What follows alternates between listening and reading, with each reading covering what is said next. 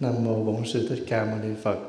À, kính thưa đại chúng, hôm nay là sáng chủ nhật ngày 25 tháng 2 năm 2024, tức là ngày 16 tháng Giêng năm Giáp Thìn. Chúng ta đang ở tại tu viện Trúc Lâm trong ngày lễ cúng rằm Thượng Nguyên, rằm tháng Giêng, cũng là lễ hàng tuần.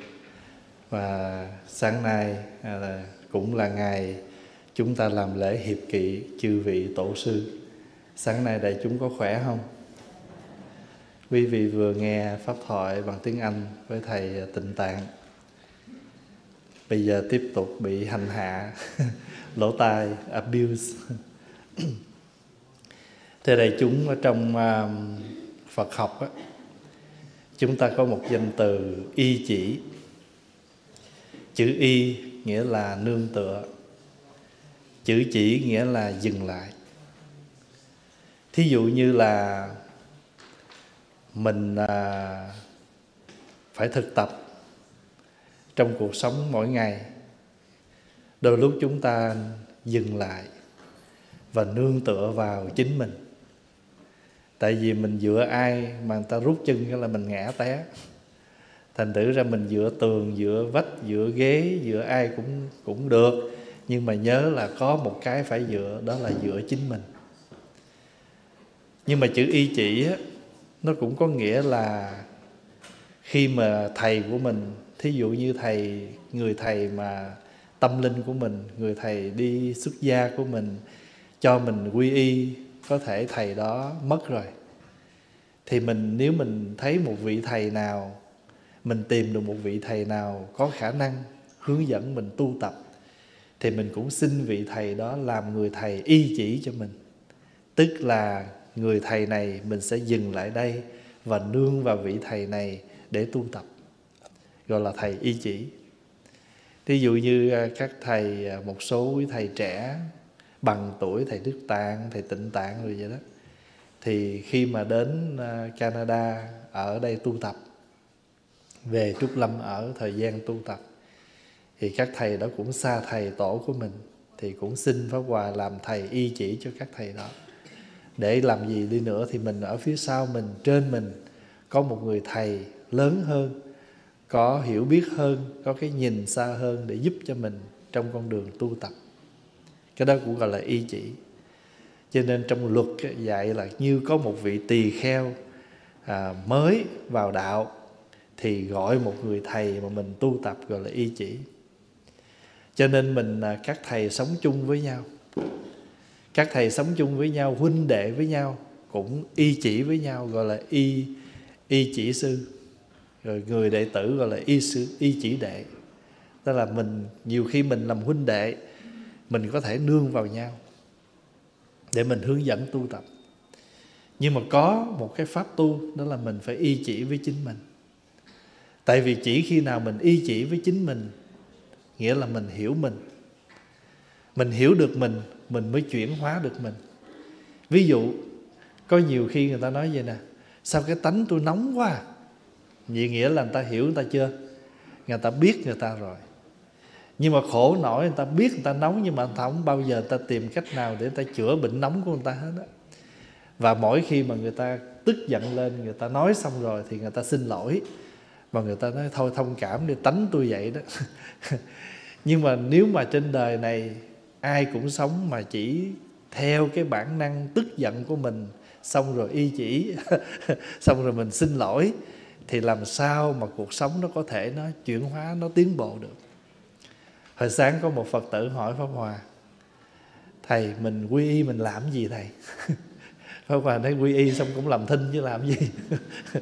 Đó. quy y thì cũng là bình thường. Quy y không phải là một lễ để mình gia nhập một tôn giáo. Mà quy y là để bắt đầu từ cái ngày mình quy y, mình nguyện hướng cuộc đời mình, hướng cái cách sống của mình đến cái chỗ đẹp hơn, hay hơn thì gọi là quy y. Mà căn bản nhất là mình dựa vào lời phật dạy. Thứ nhất, tôn trọng sự sống của người khác, nguyện không sát hại. Không sát hại người ta bằng hành động và cũng không sát hại người khác bằng tư tưởng. Nhiều khi mình không giết người ta qua hành động của mình nhưng cái cách sống của mình cũng giết người ta dần mòn. Nhiều khi một lời nói của mình không đủ dừng lại trước khi mình nói mình có thể làm khổ cho người ta. Như hồi nãy câu chuyện thầy tịnh tạng kể vậy đó.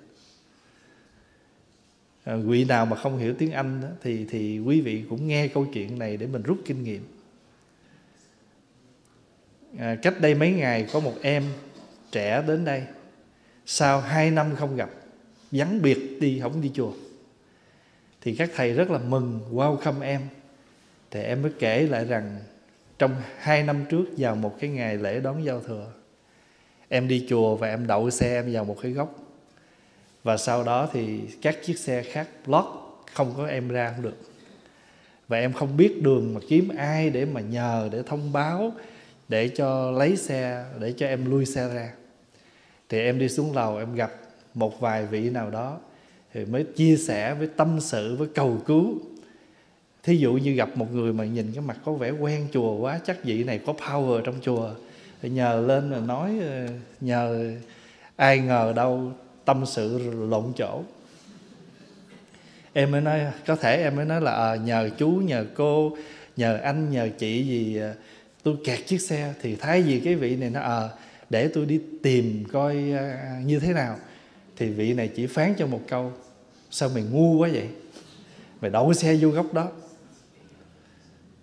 Thì khi mà em đó nói như vậy nghe câu nói đó xong thì ngay mùng 1 Tết giao thừa vừa xong là qua mùng 1 rồi coi như sáng là được lì xì lớn lì xì một chữ ngu. À, thì em này chới giới. Rồi đi tới đi lui kiếm người này người kia rốt cuộc là bao nhiêu người cũng tặng em chữ à. Sao mày ngu quá vậy? Và em thất vọng vô cùng. Cái thất vọng của em á nếu câu này ở ngoài đường ngoài chợ á, thì có lẽ em có thể thông cảm. Nhưng cái thất vọng của em là câu này nó được nói ra từ một người ở trong chùa. Một người trong chùa nghĩa là người đó cũng đi chùa giống em và họ nghĩ rằng đã là phật tử thì không thể nào có những lời nói nó không dễ thương như vậy. Vậy thì mình quy y có cái giới thứ tư là cái giới cách nói chuyện. Vậy thì mình thọ cái giới thứ tư này đâu phải là để mình thành thành thánh, thành tiên gì, mà thành một con người đẹp và nói đẹp. Nhiều khi mình trang điểm, mình tho son, mình làm rất đẹp, nhưng mà lời nói mình thốt ra nó không được đẹp và một câu nói đó thôi, đã đẩy lui một một bạn trẻ không đi chùa hai năm. Như vậy thì trong cuộc sống của chúng ta có nhiều khi chỉ một câu nói thôi, hạnh phúc đổ vỡ, tình nghĩa cắt đứt.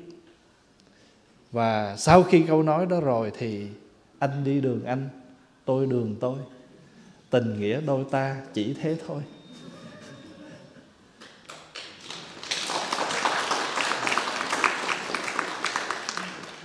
Cho nên mình, nếu mình tập trong cuộc sống, mình có dừng lại, mình chậm lại. Chậm lại không phải mình mình thối lui để mình chậm tiến. Chậm lại để làm gì? Chậm lại để mình đi những bước đi cho nó vững. Phong và ví dụ, khi quý vị bước ra khỏi sân, nhìn xuống đất, thấy trời trơn, có dám bước nữa không? Thì lập tức lấy cặp mắt của mình nhìn coi chỗ nào có tuyết để mình đi, nó bám tuyết, nó đỡ trơn trở té. Trước khi mình lui xe, mình phải nhìn kiến hậu, mình phải nhìn vai, mình phải nhìn xe, nhìn đèn, vân vân, để mình sang len, để mình lui xe. Chứ đâu phải vô cái lui cái đụng ta chết.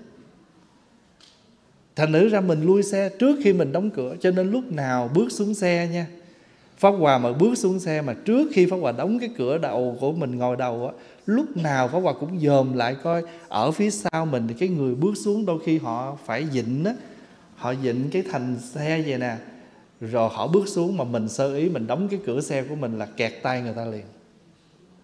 Dù chỉ là một chút thôi. Vì sao? Vì mình đã bị một lần rồi.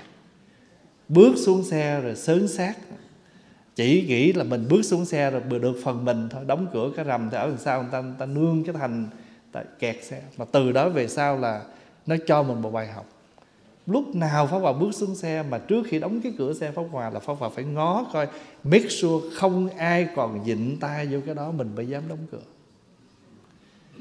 Vậy thì mình chậm lại đâu để làm gì? Để lợi mình và lợi người. Nhiều khi mình đụng người ta xong mình chỉ một câu xin lỗi là mình xong. Mình đâu có đau. Nhưng mà cái người đó ta đau mấy tháng trời. Rồi nếu mà đó là cái mà bị thương ngoài da thôi nha. Còn nếu bị thương bên trong này, không biết bao nhiêu năm. Thật nói nhiều khi mình mình mình mình đóng một cái đinh trong một cái treo một bức tranh. Trước khi đóng, phải phải rà coi ở trong nó có gỗ không tại đây tường giấy không à có những chỗ cái hình nó nặng quá mình đóng đại vô treo nó tuột mất tiêu gì, cái ở đó không có một cái gỗ gì để nó chịu đựng cái đinh to hết, mà cái hình nặng hết. Thì trước khi đóng một cái hình, cũng phải canh, cũng phải ngó ra, phải gõ gõ thử coi còn ai giỏi nữa có cái máy rà, coi trong nó có gỗ không, nó có cái gì để nó chịu không. Và thậm chí phải coi cái sức nặng của bức tranh mình treo. Coi tường, coi gỗ, coi tranh, rồi cái đinh của mình hai, ba thứ hợp lại. Để làm chi? Để mình không uổng công mình treo bức tranh. Lỡ treo, nó rớt xuống nó bể. Hoặc là nó tét tường, nó hư tường, rồi lát đục đẽo tùm lum. Chỉ một chuyện đơn giản. Xong rồi thôi, tường bắt đầu có lội lộn. Cho hồi xưa cái câu chuyện mà người ta nói là mình lấy cái đinh mình đóng vô mấy cái cột á, xong rồi mình rút cái đinh ra khỏi thì cột nó bị gì? Nó bị có có có có những cái lỗ trống đó. thì lời nói của chúng ta cũng vậy. Một cái lời nói mà chúng ta thiếu cái sự suy nghĩ, nói không có, coi trước coi sau, không suy nghĩ thì nói xong rồi thì nó để lại một vết thương, một cái vết thẹo. Mà lời nói là dễ nhất là tại vì nó nhanh lắm. Nó nhanh hơn cái đầu mình. Cho nên thường là lời nói là người mình giận nhau nhiều nhất là ở lời nói mà nếu chúng ta thành một cái thói quen là nói không suy nghĩ kịp thì nó thành cái nghiệp. Vậy thôi, nghiệp là gì? Nghiệp là thói quen. Nghiệp là thói quen mà nếu thói quen đó tốt thì gọi là nghiệp tốt, gọi là thiện nghiệp. Nếu thói quen đó xấu gọi là ác nghiệp, chứ chữ nghiệp nó không là gì hết thì thật thử ra mình nói trời ơi, tội nghiệp. Cuộc đời này không phải chỉ có tội nghiệp không mà nó có một cái nữa gọi là phước nghiệp phước nghiệp nghĩa là một thói quen luôn luôn tạo cái phước. Nói ra mà làm cho người ta hạnh phúc. Ở à, nhạc sĩ phạm diêu có cái bài hái hoa đó. Hỡi bạn mình ơi hái hoa cho khéo hoa nào héo héo thì hái bỏ đi á. Thì pháp hòa mượn cái ý đó pháp hòa cũng sửa cái cái cái cái cái lời hát hỡi bạn mình ơi, nói năng cho khéo, câu nào heo héo thì hãy bỏ đi. Chứ để nói làm chi người ta sầu nói đi làm chi người ta sầu thành thử ra, câu chuyện đó chỉ là một cái một cái ví dụ trong muôn ngàn cái hành xử trong cuộc sống. Vậy thì mình làm một phật tử không phải để trở thành một tín đồ chấm hết quy y không phải chỉ gia nhập, quy y không phải để gia nhập bất kỳ một tôn giáo nào gọi là phật giáo. Mà quy y để kể từ giây phút mình quy y, mình hướng cuộc sống mình. Nó có một cái phương pháp tu tập, đó là chúng ta sống chậm lại. Có nhiều người nói chậm vậy rồi mình à, bị lui sụt trong cuộc sống dạ không? Chỉ chậm lại vài vậy quý vị thấy không? Ví dụ lái chậm chút đỡ tai nạn không? Có những người mà mình đi tới cái school zone là tới chỗ nào mà bắt buộc phải lái chậm, họ cho mình chậm lại. Đi vào những cái parking lot mà chỗ công cộng thế nào cũng có những cái băm để cho mình lái chậm lại. Rồi ở đây em bên tên chỗ xứ tuyết của mình đây, dọc hai bên đường là người ta cắt đường hết, lỡ mình lan vô trong cái đường đó, nó băm cái xe mình lên, nó ồn xe, giật mình đưa xe trở lại. Nghĩa là làm sao cái xe mình cho nó ngay đường thẳng lối. Cho nên chữ y chỉ là mình trở về mình dừng lại dừng lại để nương tựa. Mình sắp sửa mình nói một lời nói và người ta sẽ dựa vào lời nói của mình. Có khi người ta nghe người ta dựa vào lời nói mình mà người ta sống. Hồi sáng có quà hạnh phúc có một cô đó cổ uh, cổ viết cho qua một cái thư. Thưa thầy con là con chiên của chúa. Nhưng mà hai ba năm nay con sống nhờ những bài pháp của thầy. Nhờ bài pháp của thầy mà con đã đi tới cái chỗ gọi là gì? Biến dịch sanh tử. Tại pháp hòa hay nói cái chuyện đó con người mình có hai cái chết. Ngày nào mình tắt thở mình chết đó, thì gọi là nhất kỳ sanh tử nghĩa là nhất định một anh sẽ có một lần chết như vậy. Nghĩa là nhắm mắt, tắt thở chết. Cái này là nhất kỳ sinh tử, phải có. Nhưng mà tới, mà từ đây tới cái lúc chết đó, mình phải có một cái chết cần có. Cái chết đó gọi là biến dịch sanh tử. Nghĩa là mình hãy nên chết những cái thói quen, những cái con người xấu dở của mình để mình trở thành một con người mới hơn. Từ ngày biết sống chậm lại, biết nhìn lại lời nói của mình, biết nhìn lại cách sống của mình thì mình thay đổi hoàn cảnh. Gia đình mình ấm êm hơn, đỡ gây gỗ hơn, mát mẻ hơn. Hồi xưa là lúc nào cũng lửa. Và mà mạnh ai nấy thủ sẵn một cái bật lửa và một canh xăng. Người kia vừa vơ lửa lên là mình tạt cái gáo xăng ra liền. Nhà mình lúc nào lửa nó cũng phật hết. Thì bây giờ mình tu tập rồi thì mình biết giấu cái canh xăng đó đi mà mình thay vào đó một canh nước hãy lửa vừa lên thì mình tắt lửa. Cho nên, trong kinh pháp cú có một câu, thứ 160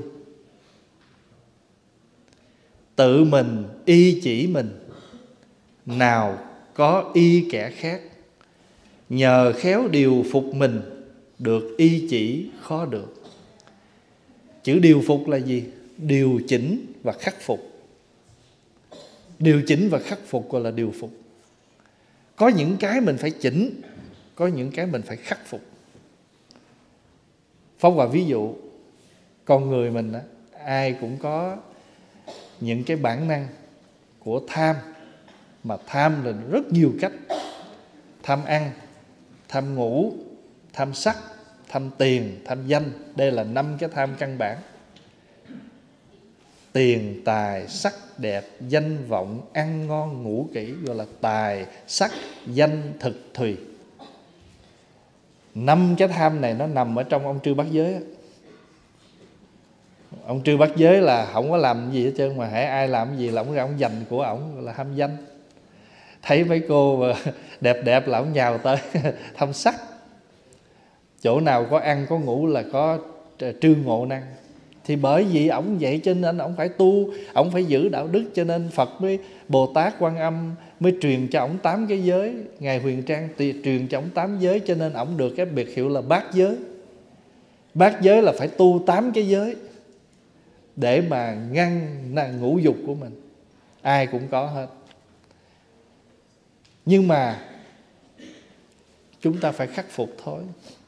Ví dụ, bây giờ mình lớn tuổi rồi cao máu thèm ăn những cái món mặn giờ phải khắc phục giờ ăn hơi lạc lạc một chút. Giờ, giờ hồi đó mình thích ăn cay giờ bao tử bệnh rồi không cho mình ăn cay nữa khắc phục. Đó đơn giản vậy thôi. Còn điều chỉnh là sao? Dù cái đó có ngon cũng đừng ăn quá. Bổ hay là ngon mà ăn quá thì nó mệt và thậm chí nó sẽ bệnh. Cái gì cũng vậy thôi. Cho nên điều phục điều chỉnh khắc phục. Nếu cái phòng này có lò sưởi nó, cái lò, cái sưởi rất là tốt, nhưng nếu mình mở maximum lên, mà gặp cái ngày không quá lạnh thì trong này nó rất nóng. Cho nên phải chỉnh độ lại, mặc dù nó có khả năng đưa cái độ nóng lên tới hết ga, nhưng nóng quá khó chịu, phải chỉnh nó xuống. Vậy thì mỗi người chúng ta phải có một cái cái, một cái nút điều chỉnh. Cái âm thanh của mình mình có điều chỉnh không? Có chứ. Có nơi mình nói lớn một chút. Có nơi mình phải nói nhỏ một chút. Thậm chí có nơi tắt luôn. Chẳng hạn như sáng chủ nhật mà 10 giờ 15 rồi, tới giờ rồi, lên tới đây rồi là bắt đầu chỉnh xuống. Chỉnh từ từ, chỉnh từ cầu thang á. Chỉnh từ cái thang lên tới đây là ốp luôn. Để chi? Để giữ một không khí trang nghiêm. Giữ một không khí trang nghiêm để chuẩn bị mọi người thân tâm, thanh tịnh để đi vào một khóa lễ. Chính tự mình làm chỗ nương tựa cho mình, chứ nguồn gốc khác làm sao nương được. Tự mình khéo tu tập mới đạt được đến chỗ dựa, nương dựa màu, nhiệm màu. Tự mình y chỉ mình, nào có y kẻ khác, nhờ khéo điều phục mình được y chỉ khó được. Cho nên mỗi người chúng ta tự quán chiếu. Phật giáo việt nam có một thiền sư tại gia. Ông tên là tuệ trung. Chúng ta thường gọi là tuệ trung thượng sĩ. Ông chính là anh ruột của hưng đạo vương, trần quốc tuấn. Thì cái pháp tu của ông mà chính ông cũng là người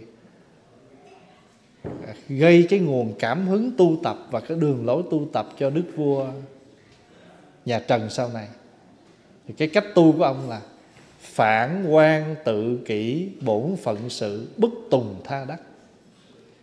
Phản quan tự kỷ nghĩa là lấy cái ánh sáng soi ngược lại mình. Phản quan tự kỷ, tự mình soi sáng lại mình.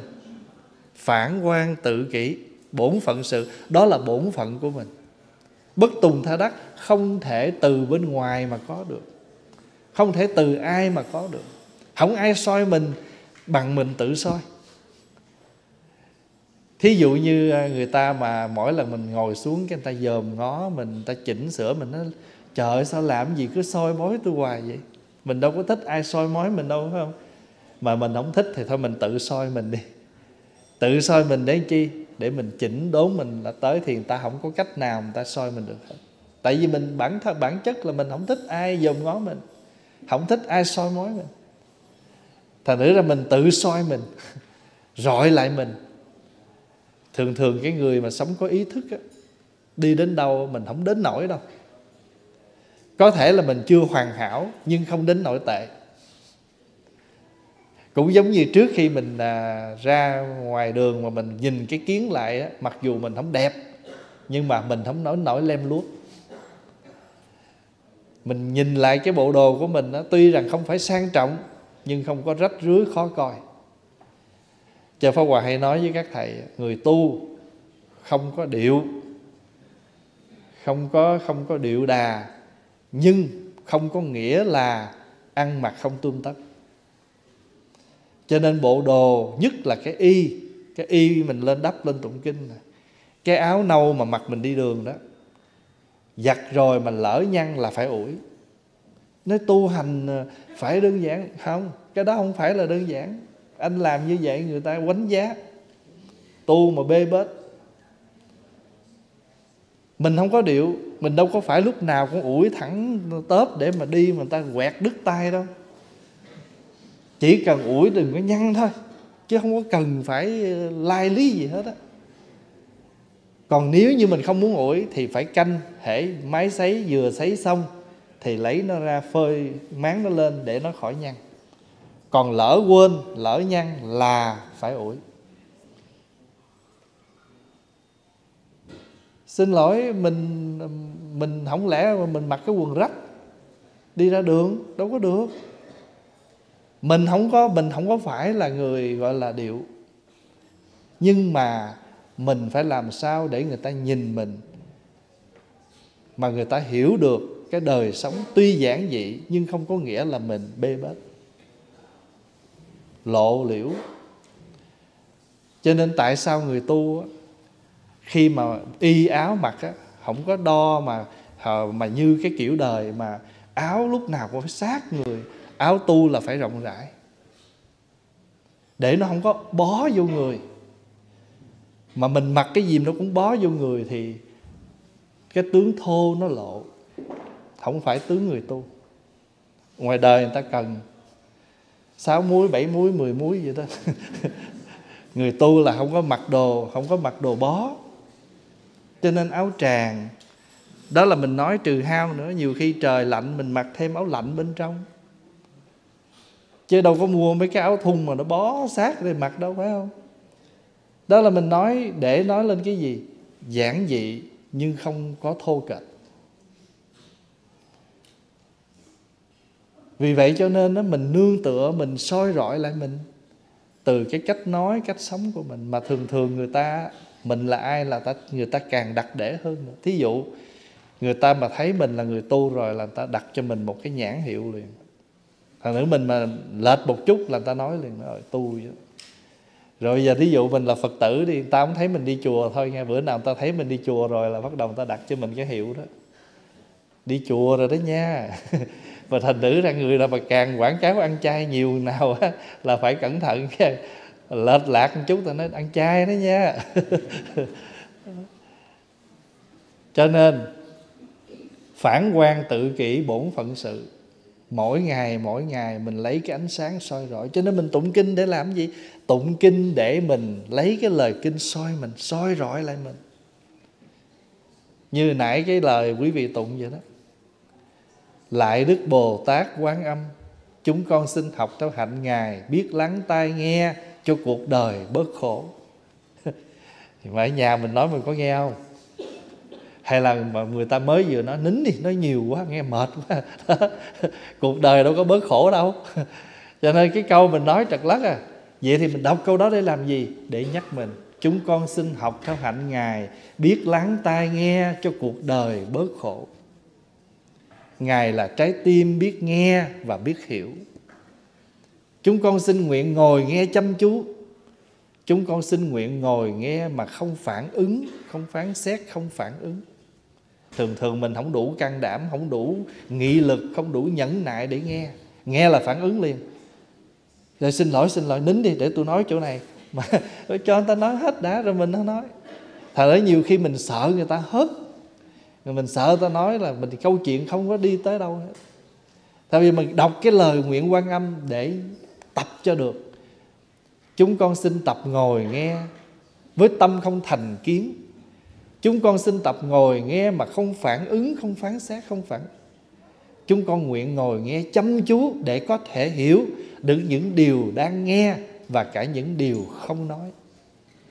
Sống với nhau lâu ngày rồi, đôi khi người ta chưa kịp nói cái gì hết. Mình nhìn ánh mắt của họ là mình biết người ta muốn nói gì rồi đó. Sống được như vậy đó, mình còn hay hơn thầy bói nữa. Thầy bói còn phải dở tay xem đường chỉ, mình nhìn ánh mắt thôi, mình hiểu người đó muốn gì rồi. Từ từ làm thầy bói được hết sống với nhau mà mình hiểu nhau. Cái đó gọi là hiểu đó. Hiểu rồi là sẽ thương. Cho nên thí dụ có nhiều vị hỏi, thầy ơi, tụi con đi coi bói được không? Pháp Hòa hỏi, coi bói để làm gì? Coi bói để biết xui hơn, phải không? Nếu biết xui thì nếu nếu mình coi bói. Mà thầy bói nói năm nay mình bị cái này kia thì về ráng tu. Ráng tu sửa thì cái coi bói để làm gì? Để mình biết tương lai năm nay mình sao? Nếu coi mà để sợ thì thôi đừng coi. Còn nếu coi mà để mình biết mình xui thì sao? Để mình ráng mình tu tập để chuyển hóa cái xui thì thôi cũng được đi.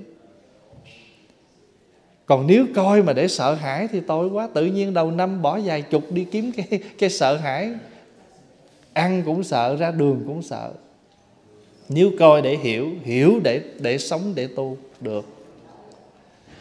Cho nên có hiểu mới có thương rồi qua tới đức của bồ tát văn thù. Lại đức bồ tát văn thù, chúng con xin học thấu hạnh ngài, biết nhìn sâu vào lòng sự vật và vào lòng người.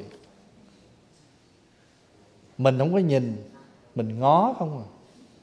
Mình dòm không à. Mình ngó, mình dòm để gì biết không? Để mình trề môi, để mình chỉ, coi kìa coi kìa, thấy ghê không? Vậy mà cũng đi ra đây thí dụ vậy đó. Còn cái người mà ta nhìn để người ta hiểu chúng con xin tập tới hạnh ngài, biết nhìn sâu vào lòng sự vật và vào lòng người. Có nhiều khi người ta như vậy, người ta có những niềm đau nỗi khổ. Mình đâu có biết. Thưa đại chúng, ở đây có nhiều vị tinh thần không có ổn. Pháp Hòa biết. Cho nên mỗi lần cái vị đó lên á, Pháp Hòa sợ người khác hiểu lầm rồi đối xử không không có dễ thương á mà Pháp Hòa mà thấy cái người đó xuất hiện là Pháp Hòa có mặt liền để để làm sao mình ôm ấp cái người đó, mình đỡ cho cái vị đó. Để cho người khác đừng có nhìn họ với một cặp mắt khó chịu. Và thậm chí cái cách nhìn của mình đó làm cho người khác, cái người như vậy họ coi gì chứ họ cũng có cái tỉnh táo của họ đó. Cho nên thường mà pháp hòa biết ai có chuyện gì, pháp hòa hay đỡ trước lắm. Pháp hòa lên tiếng trước để mọi người biết à người này thế này thế kia có nhiều khi cái người đó họ bệnh. Pháp Hòa biết cho nên mình sợ là người đó không biết cái nhờ họ làm việc nặng vậy. Pháp Hòa lên tiếng ô cái chú này không được khỏe nói để chi? Giống như mình đánh tiếng trước để mọi người biết chú này không khỏe chú này không có bình an. Rồi thậm chí Pháp Hòa muốn những em trẻ nó tới. Pháp Hòa hay nói trước chứ à, ờ, em đó nó cần giúp đỡ như vậy đó. Mấy đứa coi sắp xếp có việc gì làm kêu nó ra làm mà trong khi mình mượn cái cớ mình làm để làm gì? Để có cơ hội gần gũi nói chuyện và đưa em nó ra khỏi cái cái khoảng khủng bố, khủng hoảng của nó hiện tại. Mình nhìn sâu vào lòng sự việc và vào lòng người. Chúng con xin tập nhìn với tâm không thành kiến. Chúng con xin tập nhìn mà không phán xét, không phản ứng. Chúng con nguyện tập nhìn để hiểu, để thấy được tự tánh vô thường, vô ngã của vạn vật. Đấy, tất cả mọi hiện tượng chúng ta ngồi đây đều là vô thường vô ngã. Không có gì mà nó mãi mãi nó dừng như vậy hết. Nó có thể thay đổi tùy theo cái hoàn cảnh. Hoặc là có nhiều khi mình thấy người ta cười vậy đó mà thiệt sự trong lòng người ta khổ đau lắm mà mình không biết. Cho nên mình mới có câu là cười là tiếng khóc khô không lệ có nhiều người ta cười vậy đó, mà có nhiều người đó, người ta càng khổ thì người ta lại càng vui. Vui để chi? Người ta lấp đi cái khổ đó. Nhưng mà chính khi người ta trở về với người ta người ta buồn, người ta khổ. Lắm đó, mình đọc những cái lời kinh như vậy không phải mình đọc chứ, mà giống như mình ca tụng bồ ta bồ tát đó, mình trả bài với bồ tát đó, mà mình lấy cái hạnh nguyện của bồ tát làm tấm gương soi cho mình cho nên cái, cái cách đọc kinh của phật giáo nó khác lắm. Thật là nếu mà Phật tử mà đi chùa mà đọc kinh mà tụng kinh đó, là quý vị phải hiểu được cái cách đó. Tụng để lấy cái lời kinh như một cái tấm gương soi mình. Mình có sống được như vậy chưa? Còn nếu chưa mình sẽ ráng tập. Chứ không phải mình đọc thiệt là nhiều để mình lấy điểm với phật. Thí dụ quý vị tụng sám dược sư nè. Mở đầu phương pháp ờ, sám hối của đức dược sư ờ, sám pháp và dược sư là vì con người dơ bẩn quá nặng. Thân gần bản ác, phiền não loạn tâm. Mình sống, cái cách sống của mình nó rất là buông lung. Cho nên chư tổ chư phật lập pháp sám hối để cho giúp cho mình trở về. Cũng giống như ở đây lâu lâu tổ chức lễ Mother's Day Father's Day. Ủa vậy không lẽ năm mình chỉ nhớ mẹ ngày đó sao? Không. Ngày đó để nhắc. Nếu không có ngày nào là mình quên luôn. Phải không? Cho nên đó, người á đông mình cũng hay không? Giờ mình lo mình sống chứ mình lo người sống không à. Nào là Thanksgiving à, gì lễ uh, Valentine rồi birthday cái tự nhiên ở đâu mình có thêm ngày gì? Remembrance Day. Còn Á Đông mình là ngày thanh minh. Thật ra thanh minh nó không phải là cái thanh minh là một cái thời tiết cái tiết thanh minh. Mà cái tiết đó là nó nó vừa bắt đầu xuân á trời nó mát á. Mình đi ra ngoài mộ mình dọn dẹp cái tự nhiên nó thành ra một cái rồi cái người ta cứ nghĩ thanh minh là cái mùa đi làm mộ, đi tảo mộ. Làm gì cũng sợ, không không, tôi cũng làm mấy ngày thanh minh đâu mắc gì? Nó chỉ là một cái tiết thôi mà. Trong 28 tiết thì thanh minh là một tiết thanh minh là một cái tiết rồi cái mùa đó là cái thời đó là cái thời điểm mà trời không khí nó mát mẻ. Cũng giống như Pháp Hòa xin thưa là những gia đình mà mình ta có tang mà mình sợ không cho người ta tới nhà đó cái đó là mình làm mình làm ngược á mình hiểu lầm cái ý đó. vì người xưa người ta làm trả hiếu cho cha mẹ đó người ta thủ tang tức là người ta không đi đâu hết ta thờ cha mẹ khi mới mất ở nhà người ta lo thắp nhang ta nấu cơm ta cúng mỗi ngày cho nên mình mời người ta đi tiệc tùng ta từ chối người ta không đi nói ờ trong thời gian này tôi bận ở nhà để lo cho gọi là cư tang nghĩa là ở ở trong nhà để mình giữ cái cái cái lễ nghi đó. Người ta từ chối mình ta không đi. Cái tự nhiên thời gian nó thành cái thói quen á, là ai có tang không cho tới nhà hỏi sao vậy tới nhà mình xui. Nó không có dính dáng gì hết. Đúng là người xưa là chính bản thân người đó không đi chứ không phải là cử. Họ từ chối, họ không đi vì họ ở nhà, họ thủ tang họ thủ cái bàn thờ. Tại người xưa theo lệ ấy, là suốt suốt 3 năm bàn thờ không vắng nhang rồi mỗi ngày thắp uh, nấu ăn sáng ăn trưa cúng cho người mới mất. Vì chi vậy? Để trả hiếu 3 năm mà cha mẹ nuôi dưỡng mình. Cho nên cư tan 3 năm. Giữ tan 3 năm là để nói lên cái tinh thần hồi xưa cha mẹ mình nuôi mình 3 năm đầu, ít nhất 3 năm mình mới bập bẹ, mình đi đứng chút chút được. Thành thử ra bây giờ mình trả hiếu lại 3 năm. Có nhiều người đó là kỹ nữa đó, là người ta xây một cái chòi ở ngoài ngoài mộ á, ta ở đó ta chăm sóc mộ luôn 3 năm. Thì thời gian đó ta từ chối ta không có đi tới nhà mình ăn tiệc, ăn tùng gì hết. Người ta từ chối mình, chứ không phải mình từ chối người ta. bây giờ như mình làm ngược là mình từ chối người ta nghe, ai có tan sợ lắm, không cho tới nhà. Có nhiều người á à, à, bạn gái nó có tan có tan xong cái nó xách bạn gái nó về nhà, cái bà má nó biết được, biết không? Trời ơi, bà gọi lên đây bà nói, thầy ơi, thằng con trai con nó xách con bạn gái nó, con bạn gái nó có bà nội bà ngoại gì mới chết. Giờ thầy có bùa gì cho con chứ tự nhiên rồi mình hù dọa mình chi cho mấy cái đó cho nó khổ không? Nữ ra tự mình phải y chỉ phải nương tựa. Mình sống đúng mình sống tốt thì quỷ thần phải sợ. Quỷ thần sợ cái người có đức. À, còn mình mà không sống tốt cái gì mình cũng sợ. Còn mình mà sống đúng đắn mình không có sợ gì hết. Đức trọng quỷ thần kinh. Cái đức mình nó lớn thì quỷ thần còn phải sợ mình cho nên cuối cùng á, câu kinh 160 ha, tự mình y chỉ mình, nào có y kẻ khác, chữ y là nương tựa. Cho nên á, y phục, chữ y đó đó, thí dụ mình nói y phục là gì? Mình nương, con người mình sống, mình nương bộ đồ, để chi? Để che cái thân mình. Không che cái thân này nó lộ mắc cỡ lắm chỉ con người có cái hiểu biết. Mà con người có hiểu biết có một, một cái chút văn minh rồi thì con người biết tầm quý biết mắc cỡ. Cho nên con người phải nương tấm vải nương một bộ đồ để che thân. Đầu tiên là con người không có biết quần áo gì con người chỉ quấn quấn là che thôi rồi từ từ văn minh lên. Văn minh lên bắt đầu có những kiểu áo rồi càng ngày con người càng văn minh hơn. Hết kiểu áo này tới kiểu áo kia, thí dụ rồi rồi bắt đầu mới đặt ra một trường hợp là thời trang. Thời trang là gì? Trang phục ăn mặc hợp thời.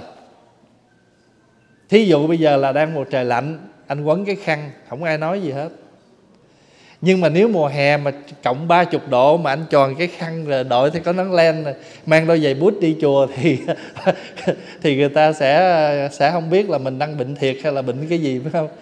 Rồi ăn mặc hợp thời trang là vậy. Trời xưa là tóc tai cũng hợp thời trang quần áo.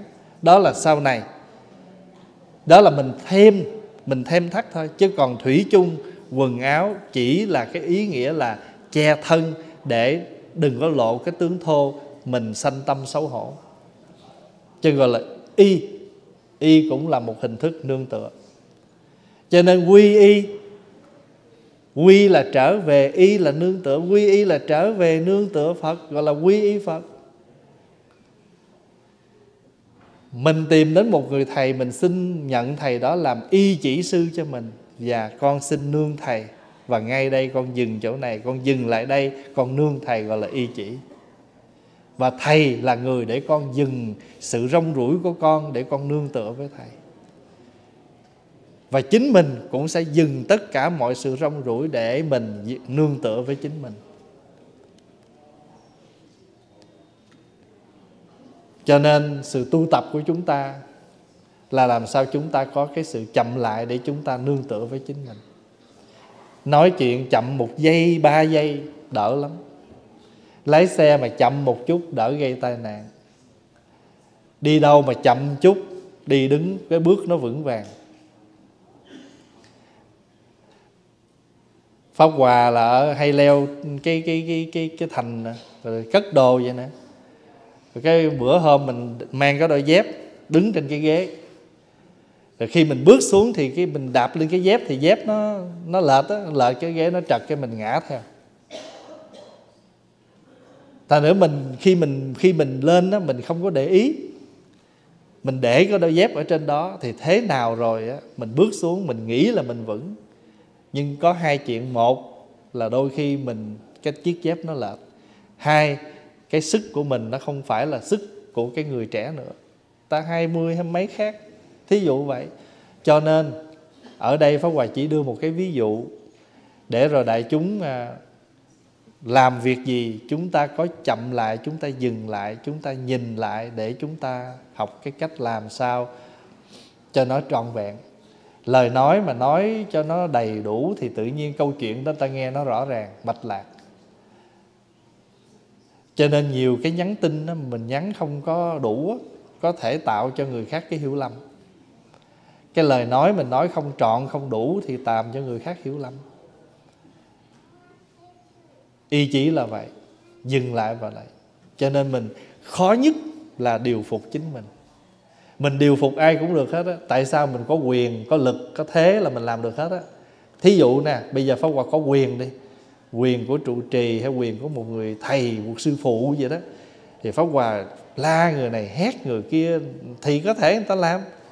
Nhưng mà cuối cùng mình bị lố là vì mình không điều phục được cái cái cơn giận của mình cái quyền lực của mình. Mình có quyền mà không dùng quyền mới thật quyền. Có lực có người ta không dùng lực thì lực nó mới bền. Pháp hòa ví dụ như mình có sức, nhưng không biết dưỡng sức thì mất sức. Còn nếu mà không mất sức thì bị hao sức hay là mòn sức. Cho cái người người ta có sức nhưng không đâu có nghĩa là người ta tự người ta khiêng nặng đâu. Cái gì không cần thiết, ta không làm. Hoặc là cần làm, người ta sẽ làm theo cái tinh thần suy nghĩ để người ta không phải dùng sức nhiều đâu phải mình phí sức, có sức mà không phí thì sức nó mới tồn. Thì cũng như vậy, có quyền, có lực, có thế mà mình không sử dụng, thì cái đó nó lâu. Tại vì mình sử dụng riết á, thì người ta đến với mình, ta chỉ sợ cái quyền, cái thế, cái lực của mình, chứ người ta không phải, người ta kính nể cái đức của mình. Hai cái nó khác. Cho nên mình làm chủ tiệm có, mình làm chủ nhà có, mình làm chủ nợ có mình làm nhiều chủ lắm nhưng chỉ có một cái mình không làm chủ được mình thôi. Mà không làm chủ được mình là mình thất bại lớn. Dễ bị à, gọi là phá sản. Cho nên làm sao làm? Phải ráng làm chủ được mình. Ít nhiều gì cũng được. Mà từ cái nhỏ nó sẽ đi đến cái lớn. Bây giờ tập đi. Mỗi lần mình nói cái gì mình dừng lại một chút. Mình suy nghĩ cái lời nói của mình. Và nơi nào mình có thể nói với cái thon nó làm sao? Để mà nó không có quá đáng.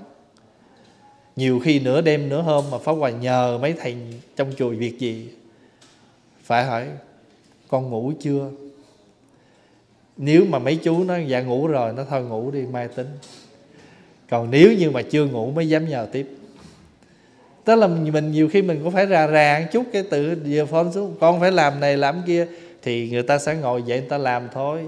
Nhưng mà người ta làm người ta cầm ra mình à, Thành nữa là mình cái gì cũng vậy mình sống mình biết mình biết à, mình biết nương tựa với nhau mà mình biết quan tâm lân mẫn thì cuộc sống nó không đến nổi người kia không có đến nổi tức mình giận mình có quyền mà không sử dụng. Cái quyền đó chỉ để lúc nào cần thiết chứ, chứ cái người người ta biết múa võ đâu phải lúc nào ta cũng múa cần thiết lắm người ta mới ra người ta mới dùng đến cái võ thuật của người ta. Thôi hôm nay à, nhân cái dịp rằm tháng Giêng ha Chúng ta trở lại học Kinh Pháp Cú câu 160 Và hôm nay mình học hai chữ y chỉ. À, Y chỉ tức là quay trở về nương tựa với chính mình. Chỉ là dừng lại. Đình chỉ đó. Đình chỉ. Cho nên mình có chỉ tu thiền có một pháp tu gọi là chỉ là dừng lại. Dừng lại để thấy sâu gọi là chỉ quán. Chúc đại chúng cuối tuần an lạc. Thưa đại chúng à, hôm nay theo nhân gian người ta gọi là rằm thượng nguyên hay là thượng nguồn. Nguyên là cái nguồn gốc. Có khi gọi là nguyên tiêu. Nguyên tiêu tức là cái tiết này là để cho vua thường là đãi à, các quan nhất là các ông trạng nguyên. À, và cái ngày lễ này là vua mời các trạng nguyên và các quan vào triều để à, uống trà ăn bánh ngắm trăng. Và ừ, đối với nhân gian thì cái ngày lễ này là cái lễ rằng trăng tròn đầu năm cho nên người ta có thể gửi những cái ước nguyện của họ bằng một cái câu viết cầu nguyện xong rồi thả lồng đèn. À, thì họ mong rằng cái lời cầu nguyện của họ đi lên trên tận cõi hư không và một cái đấng à, các bậc ở trên có thể tiếp nhận cái lời cầu nguyện của họ. Đối với phật giáo đó thì chúng ta tiếp nhận các cái ngày lễ nhân gian. Nhưng mà thay vì chúng ta chỉ tổ chức những cái buổi tiệc vui theo nhân gian thì chúng ta lại tổ chức thành những cái buổi tu tập. À, theo lịch sử đó thì rằm tháng giêng á, đối với phật giáo cũng là một cái ngày lễ quan trọng liên quan đến cuộc đời của đức phật. Tại vì chính cái thời gian này là thời gian đức phật à, xác định và nhắc nhở các thầy các chúng xuất gia à, phải ôn tụng giới luật cho nên là mỗi rằm ngày trăng tròn, chúng ta tập hợp để tụng giới. Ngày hôm qua, thứ sáu, là các thầy, các sư cô đã tụng giới của người xuất gia rồi. Hôm nay là ngày tụng giới của các vị cư sĩ. Hồi nãy là các vị tụng năm giới. Những ai đã thọ năm giới thì tụng năm giới. Tức là tụng là gì? Là mình ôn lại. Mình thọ xong rồi mình không có nghe lại thì mình sẽ quên nhờ nghe lại cho nên mình sẽ nhớ mình đã thọ cái gì rồi cố gắng giữ.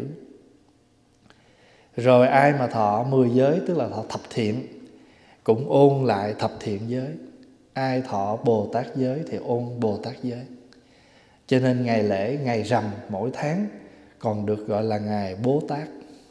Chữ bố tát là tiếng phạn dịch nghĩa là trưởng dưỡng à, trưởng tịnh tức là ngày này nuôi làm cho cái sự an tịnh của mình tăng trưởng lên, gọi rồi ngày trưởng tịnh.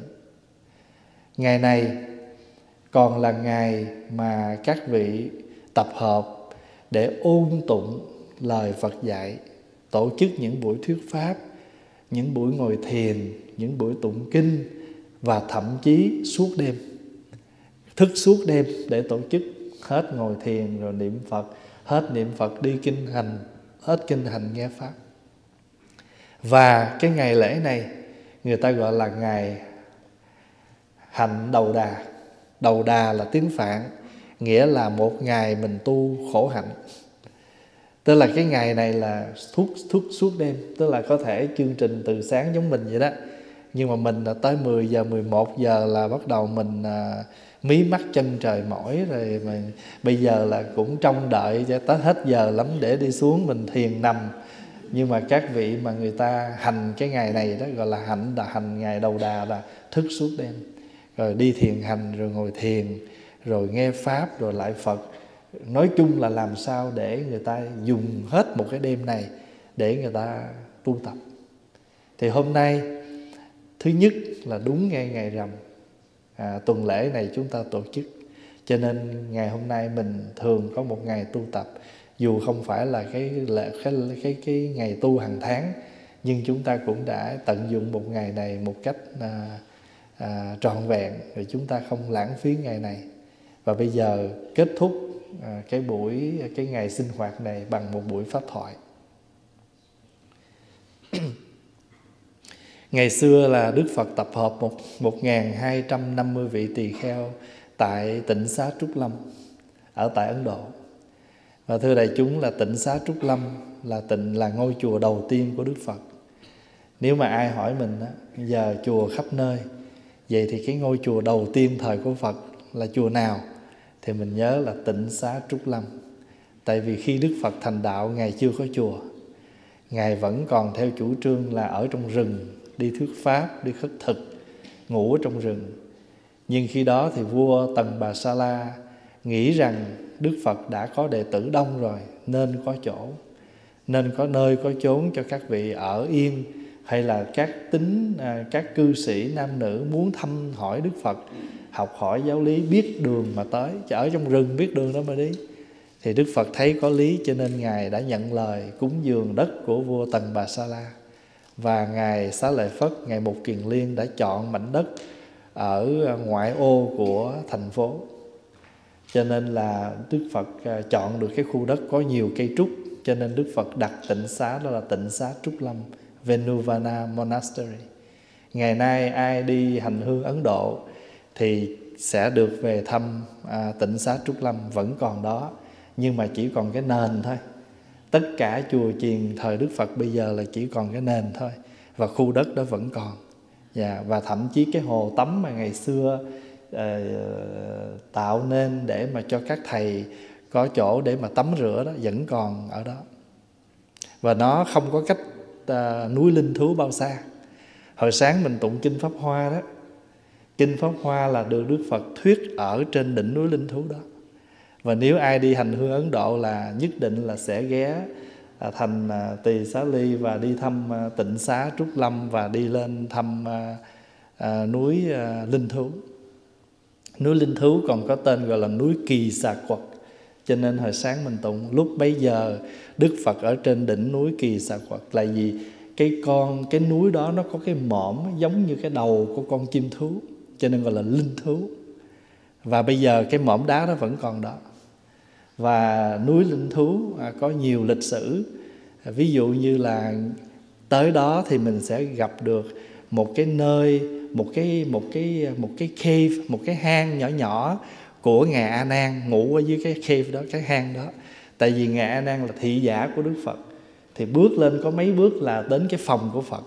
Cho nên ngài A Nan phải ở đó. Ai từ ở dưới chân núi lên muốn gặp Phật là phải đi ngang chỗ của ngài A Nan. Thì ngài A Nan phải chặn lại, phải chặn lại, rồi ừ, được sự đồng ý, rồi ngài lên ngài thưa phật. Phật đồng ý tiếp khách thì ngài xuống ngài mời lên và những cái những cái chỗ đó bây giờ vẫn còn. Hang của ngài xá lợi phất à, ngài mục kiền à, ngài ngài à, a nan vẫn còn đó. Thì thường á, trăng là một cái cái đề tài. Trăng là một đề tài là một cái nguồn cảm hứng cho những người tao nhân tao nhân hả? mặt khách. Tao nhân là gì? Là một người tao nhã một người tao nhã, một người à, khách văn chương, gọi là tao nhân mặt khách. Và thường người ta có, trong lòng người ta luôn luôn nguồn thơ, suối thơ nó tuôn chảy, cho nên chỉ cần thấy cảnh là sẽ sẽ ra thơ. Chẳng hạn như ông hàng mặt tử vậy đó, ai mua trăng, tôi bán trăng cho. Hay là nhà thơ Nguyễn Bính, trong một cái bài thơ nhớ chùa của ông, quê tôi có gió bốn mùa có trăng giữa tháng, có chùa quanh năm. Chuông hôm gió xuống, trăng rằm, chỉ thanh đạm thế, chỉ âm thầm thế thôi. Đơn giản không? Ông diễn tả cảnh chùa quê rất đơn giản không? quê tôi có gió bốn mùa, có trăng giữa tháng, có chùa quanh năm.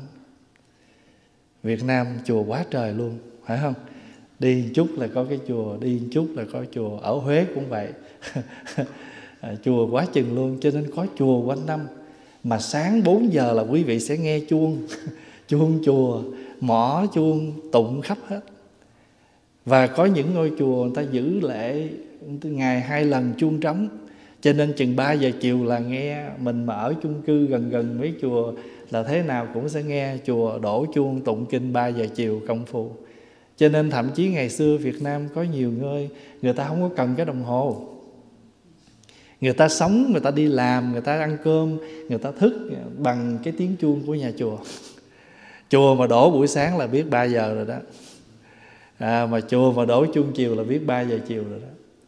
Quê tôi có gió bốn mùa có trăng giữa tháng có chùa quanh năm. Đẹp thì là đẹp. Lời thơ rất là nhẹ nhàng. Chuông hôm gió sớm chăn rằm chỉ thanh đạm thế âm thầm thế thôi mai này tôi bỏ quê tôi bỏ trăng bỏ gió chao ôi bỏ chùa. Pháp Hòa rất là thích thơ của ông Nguyễn Bính. Tại thơ của ông thần phần lớn là những cái bài thơ quê. À, Bài thơ quê.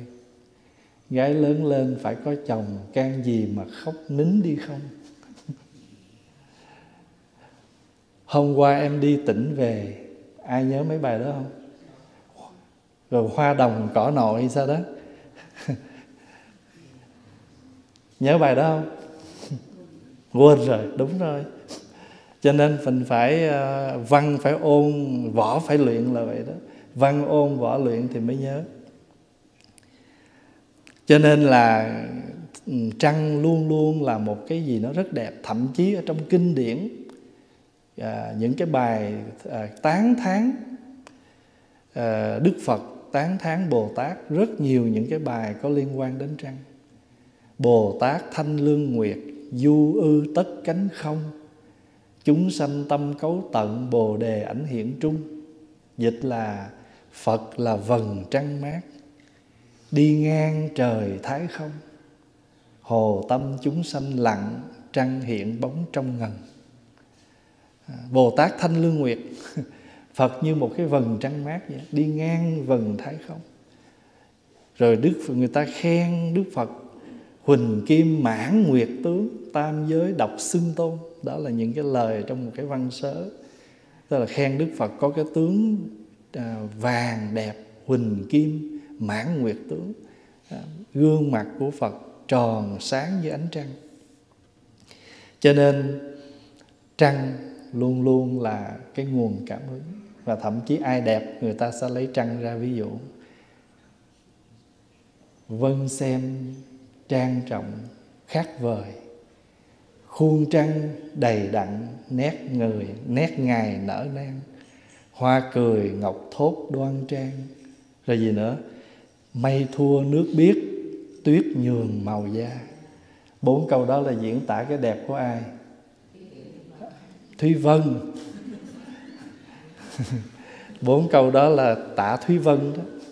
Tại vì thúy vân nghe là mình đọc bốn câu thơ đó là mình biết là thúy vân sướng rồi.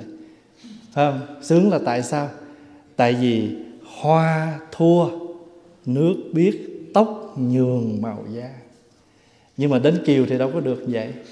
Đến kiều thì hoa ghen thua thấm liễu hờn kém xanh. Sắc đẹp của mình mà để để hoa, để liễu nó phải ganh tị tự nhiên đọc tới đó mình biết đời cô này sẽ là một cái đời cô này là đã xong thiệt. À, tại đi đâu mà có có ảnh đi theo là đời cô không có làm ăn gì được hết. Vân khen trang trọng trang trọng khác vời khuôn trăng đầy đặn nét ngài nở nang. Hoa cười ngọc thốt đoan trang mây thua nước biếc liễu hờn à, tuyết nhường màu da. Tuyết tuyết trắng như vậy mà phải nhường cái màu trắng da của cô Thúy Vân. Đáng lý bữa nay mình học kinh Kim Quang Minh đó. nhưng mà tại vì à, có Thúy Vân tới thành thử ra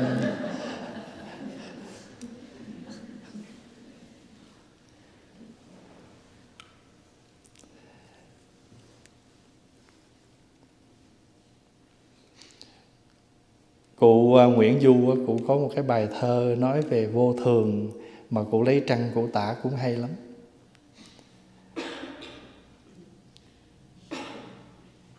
Ví như ánh trăng rằm hết mây sạch tối tâm và cụ nói rằng vân à, cái bài thơ của cụ là nói về cái à, cái cái ờ, cái sự mà thay đổi của cuộc đời như là ánh trăng có khi sáng khi tối vậy đó. Hôm trước phó hòa tra trong kinh đó, thì đức phật có mấy bài kinh nói về trăng. Rồi hôm nay nhân ngày rằm phó hòa trích một bài để chia sẻ với đại chúng. Bài kinh này ở trong kinh tăng nhất a hàm. Có một người đến hỏi đức phật, bạch đức cù đàm, làm sao để biết một người nam bất thiện? Tức là một người nam không lành. Thì đức phật nói giống như trăng. Làm sao để biết một người nam thiện? Đức phật cũng nói giống như trăng. Bây giờ ông hỏi bạch đức thế tôn, thế nào là người nam bất thiện giống như trăng? Phật bảo bà la môn, như trăng cuối tháng, ánh sáng mất, màu sắc cũng mất, sở hệ cũng mất, ngày đêm càng lúc càng tiêu giảm, cho đến không còn xuất hiện. Cũng vậy, có người đối với như lai mà tính tâm tịch tỉnh, thọ trì tịnh giới, khéo học nghe nhiều, nhường bớt phần mình để bố thí, chánh kiến chân thật, nhưng sau đó lại thối thất tính tâm thanh tịnh đối với như lai, đối với sự trì giới bố thí nghe nhiều, chánh kiến chân thật ngay thẳng, đối với sự bố thí trì giới đa văn chánh kiến, tất cả đều bị mất. Ngày đêm, càng lúc càng tiêu giảm, cho đến trong khoảnh khắc tất cả đều bị quên mất.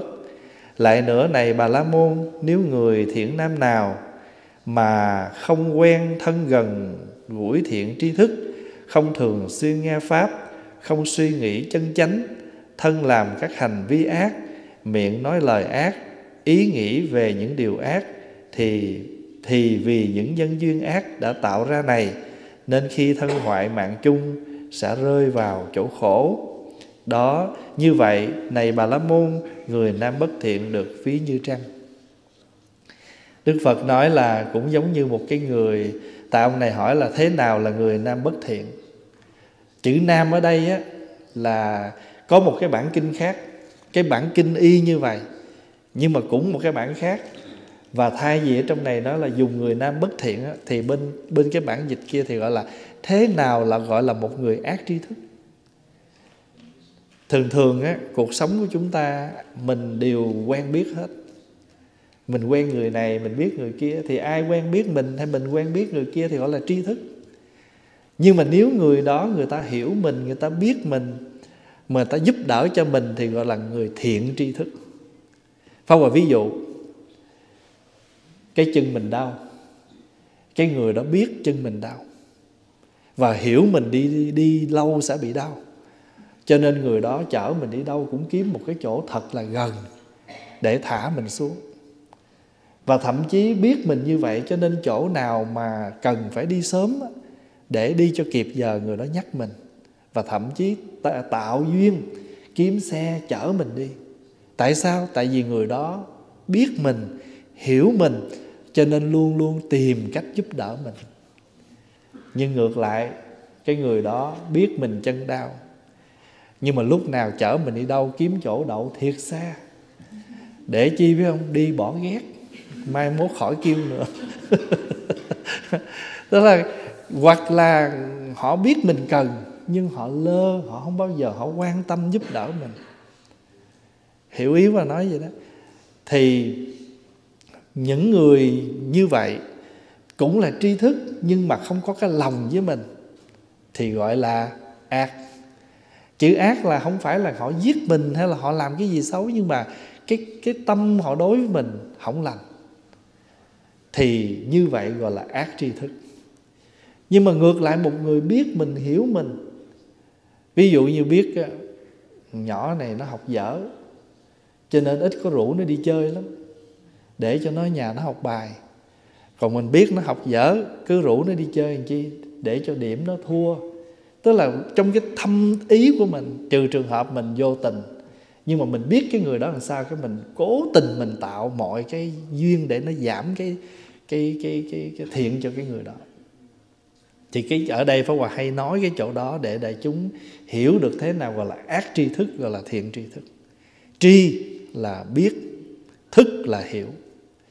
Người ta biết mình mà người ta hiểu luôn mình nữa. Có nhiều người mình biết thôi chứ không hiểu. Ví dụ như mình đi vô đây nè, mình gặp cả trăm người, hỏi chỉ biết gì nào? Dạ biết. Tên gì? Dạ tôi cũng không biết nữa, mỗi lần gặp cái chào vậy thôi à. bảo đảm luôn gặp nhau chào vậy thôi chứ không biết tên gì nữa. Rồi cái bữa nào mà hay lắm là biết tên mà không biết ở đâu. Và không biết cái gì về người đó hết. Thí dụ vậy. Nhưng mà nếu một người nào đó mình biết tên nè mà mình hiểu được hoàn cảnh của người đó cho nên mình sẽ tạo mọi cái duyên để cho cái người đó. Nhiều khi pháp hòa đi giảng vậy đó hay là trong một cái khóa tu vậy đó, thì mình đi tới đó cái mình thấy dẫn đi một cái chỗ quá xa. Thấy mấy bác lớn tuổi, mấy cô đau chân, đi đâu có nổi. Thế là pháp hòa phải đi chạy, đi kiếm xe. Coi ai có xe tới chở các vị này đi. Nếu mà người ta đi như vậy, người ta đau rồi á, người ta tu được có nửa buổi à rồi ngày rưỡi kia mình lỗ. Thành ra nếu mình trợ duyên được cho người ta, Thì người ta tu trọn. Nói vậy đó, cho nên trong cuộc sống mình á, Mình muốn người đó đi trọn vẹn với mình, Thì mình phải lùi lại và mình đi với người đó. Thì Pháp Hòa hay ví dụ hoài đó, hai vợ chồng già mà dẫn nhau đi chợ đó, ổng đi nhanh chứ, đi đã đời cắm tới cửa ổng đứng chờ. Cũng đứng chờ thôi chứ vô biết mua gì. Dẫn bà đi, bà mua mà mình chỉ đi theo mình sách mình trả tiền thôi. Nhưng mà đi trước là phải chờ còn nếu mình đi chung thôi lùi lại đi có mùi không? Thì ở đây đức phật nói có những người thì người ta lúc đầu người ta có tính tâm. Lúc đầu người ta có uh, trong này phật dùng là có trì giới có bố thí có đa văn có chánh kiến. Nhưng mà không có giữ được. Một thời gian thì nó mòn nó hao giống giống như mình uh, à, từ à, từ cái ngày rằm vậy bắt đầu 16, 17, 18 gì cái bắt đầu mờ mờ cho tới 30 nhưng mà đó thì ở đây cũng vậy. Mình tu là mỗi ngày Đức Phật dùng trăng để Đức Phật chỉ trạng thái của hai dạng tâm tu. Một cái là tu giống như mùng một vậy đó rồi tu dần dần sáng cho tới rằm. Một cái nó tu làm sao? Tu 16 tu tới tu 17 tu 18 từ từ tới 30 Dạ, Đức Phật ví dụ vậy đó. Cho nên một người mà có, Đức Phật nói làm sao để biết một người thiện và một người bất thiện? Tại sao mà nói như vậy? Tại vì tất cả chúng ta, ai cũng có những cái bản năng tham sân si và dục, tham dục, ái dục, thực dục đủ thứ hết. Nhưng mà tại sao chúng ta thúc liễm? Tại vì chúng ta không thúc liễm thì nó sẽ rơi. Vậy thôi. Cho nên mình à, mình thúc liễm là vậy. Thúc liễm là tự mình đưa mình vào một cái khuôn. Cho nên người xuất gia, thật ra thì nếu mà nói cho cùng thì người đi xuất gia cũng y như một người thế gian. Không có khác gì hết. Chỉ khác cái hình tướng thôi. Cạo đầu, mặc cái áo thôi. Chứ còn ở trong đó tham sân si và những cái dục của tiền của sắc của danh của ờ, uh, ngủ của ăn gọi là ngũ dục thế gian đó tiền tài sắc đẹp danh vọng ăn ngon ngủ kỹ nó đủ hết. Nhưng mình thúc liễm là sao? Tại vì mình không muốn mình rơi vào cái hoàn cảnh đó. Cho nên một người có gia đình rồi thì tự người ta cũng thúc liễm để giữ cái hạnh phúc của người ta à, một người đã đi tu rồi thì cũng thúc liễm để giữ được cái đường tu của mình. Mình đã là mở tiệm làm ăn rồi thì phải thúc liễm chuyện đi chơi hay là chuyện chi phí mà gọi là xa xí hay thậm chí mình chơi đá cờ chơi bạc. Nếu không thì tài sản của mình dễ bị mất mát. Cho nên cái gì trong cuộc sống này dù cho mình có thành tựu được cái gì nhưng không bảo tồn nó thì nó sẽ dễ rơi mất. Cái nhà mình có, mình cũng phải clean up, bảo trì, không thì nó dễ hư. Đó, bây giờ quý vị thấy một cái phòng của mình nè, quét tước nè, lau chùi sạch sẽ nè. Rồi mình thấy vậy đó, rồi mình đâu có xả rác gì nữa đâu. Nhưng không có rác, nhưng mà có bụi không? Bụi. Rác có thể không, nhưng bụi thì không thể không có. Như vậy đôi khi chúng ta không quét rác, mà chúng ta phải vẫn thường quét quét bụi vì vậy mà ngài ngài thần tú, ngài mới dạy mình tu. Không? Mình phải thường xuyên thấy thân này là cây bồ đề, phải tưới tẩm nó, phải chăm sóc nó, nếu không thì nó sẽ héo. Thân là cây bồ đề. Phải thấy tâm của mình là cái đài gương sáng. Phải thường xuyên lau chùi, đừng để nó dính bụi mình còn một đứa con nít đó, nó không hiểu biết là nó xả rác. Nhưng người lớn hiểu thì không xả rác. Nhưng thủy chung cuộc đời này phải có bụi. Ở chánh điện này quét dọn mỗi ngày. Nhưng nếu hai ngày mà không quét thì sẽ có bụi. Thậm chí là chỗ nào cao quá mình đâu có quét hết. Thì một năm mình lấy cây chổi mình quơ xuống thì quá trời bụi rác thì không mà bụi thì có. Thì cái tâm của mình cũng vậy. Có thể mình không còn giận ai nữa đâu, nhưng buồn có, hờn có. Tự nhiên bữa nay gặp tôi cái lơ, cũng buồn vậy, phải không? Rồi rồi rồi rồi rồi đi ăn hết trơn cái không rủ mình à. Mặc dù mình không phải thèm gì hết trơn á nói chung là mình không có gì hết, nhưng mà tự ái. Thì cái tự ái đó, nó là một chút xíu bụi. Nó làm cho cái tâm mình không thoải mái, thì gọi là phiền não. Thì phiền não là gì? Khi trong lòng mình không còn được sự an tịnh một cách bình thường nữa, thì gọi là phiền não. Nhưng mà nếu mà mình thích cái người đó quá, mình thương người đó quá không có họ, mình sẽ buồn, mình sẽ khó chịu. Cũng là một dạng phiền não đó. Mà có người đó cái tự nhiên mình rạng rỡ lên, mình vui vẻ lên, mình phấn khởi lên. Phiền não luôn đó. Nhưng mà phiền não là phiền não êm ái. Còn mình gặp cái người kia, mặt mình đỏ lên, rồi mình mắt mình nó trợn ra, mình thấy quýt rồi đây, là cũng là phiền não, nhưng mà phiền não không êm ái. Như vậy phiền não là gì? Khi tâm mình không còn ở một cái trạng thái bình thường nữa. Hồi đó lúc mình mới đi vô đây á, mình không quen ai, mình không thân ai, mình bình thường lắm. Tới giờ tụng kinh thì mình đi tụng kinh, xong rồi mình xuống mình phụ. Nói chung là mình bình thường. Nhưng mình kết rồi đó, kết model rồi đó. Mà người nào mà bữa nào mà họ không có, không, họ kênh xà bo mình rồi là khác liền à. Cho nên đức phật nói đối với sự bố thí, trì giới đa văn chánh kiến, tất cả đều bị đánh mất, ngày đêm càng lúc càng tiêu giảm. Mình tu tập làm sao mà cái tâm bố thí mình mỗi ngày phải mỗi lớn? Chữ bố thí đây không có nghĩa là chỉ bố thí tiền của, mà mình phải bố thí cái tâm, cái cách sống, cái cách nhìn, cái cách lân mẫn với mọi người. Đều là bố thí hết. Thí dụ như ờ, Pháp Hòa hay nhắc các thầy uh, sư huynh đó, mấy em nhỏ nó vô chùa nó tu thì bây giờ mình là sư huynh này mình đủ khả năng dạy mấy em rồi. Thì mình nên bố thí thời gian cho mấy em chút. Mỗi chiều dạy nó học kinh chút học oai nghi chút học luật giới chút học nghi lễ chút.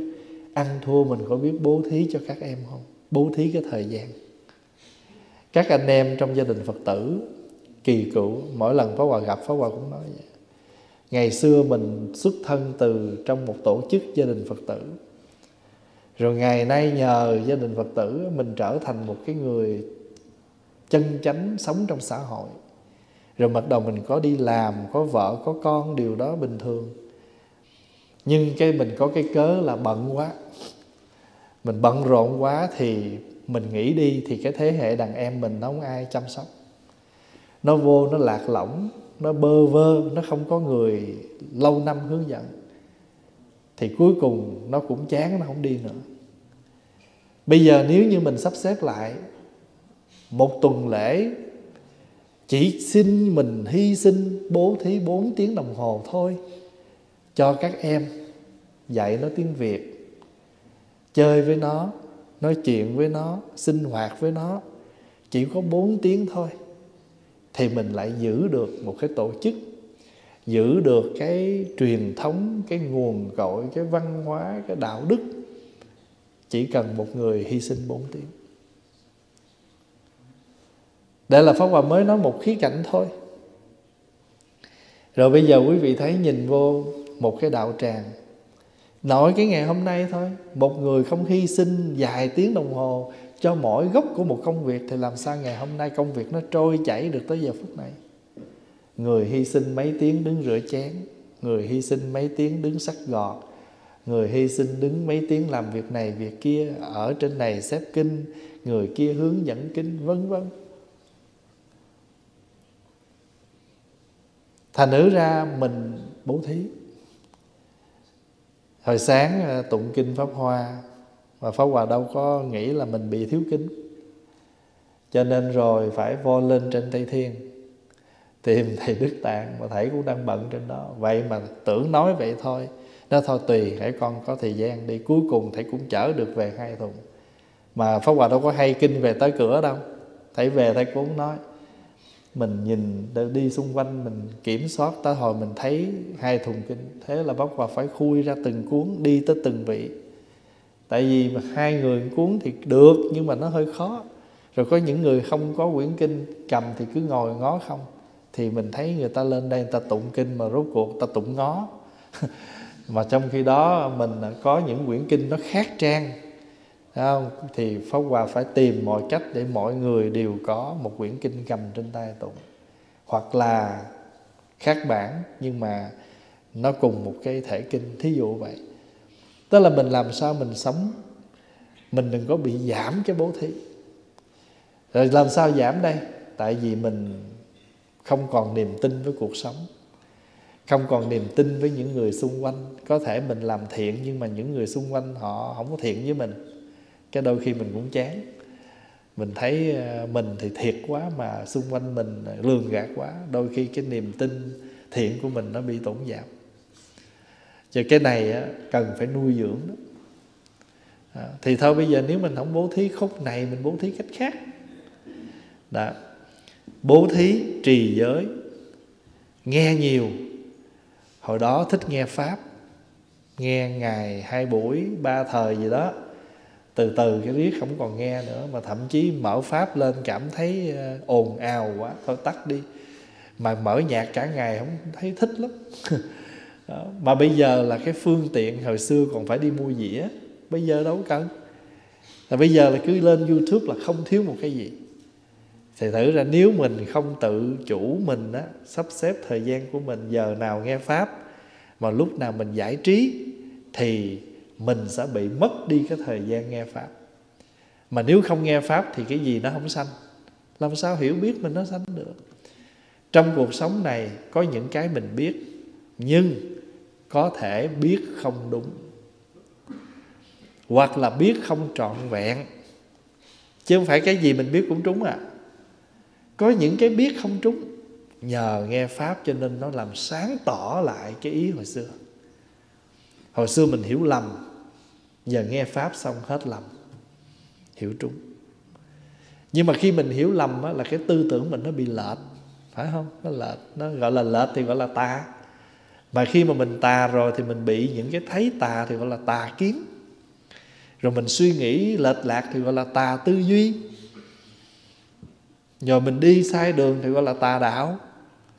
Chứ đâu có gì đâu tà đạo nghĩa là con đường này nó lệch rồi nó không trúng nữa. chứ không có cái ý nói là mình là, là ma quái quỷ mỹ gì.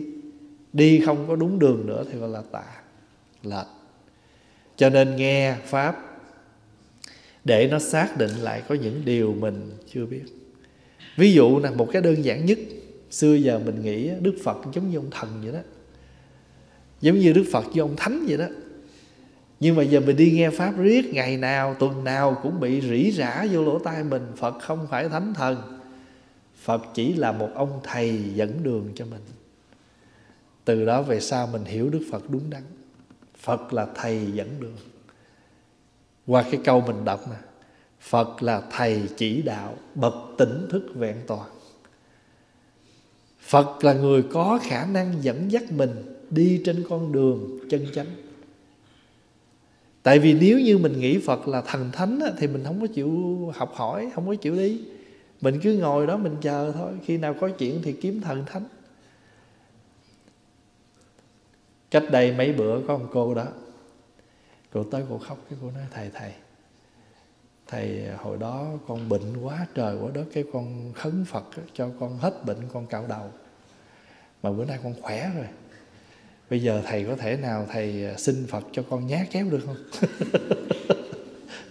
Pháp Hòa nói vậy là cô suối Pháp Hòa quịch Phật phải không? Thì Pháp Hòa giải thích. Pháp Hòa nói bây giờ cô không cạo đầu Cô không xuống tóc. Phật cũng không có hề quở trách gì cô hết.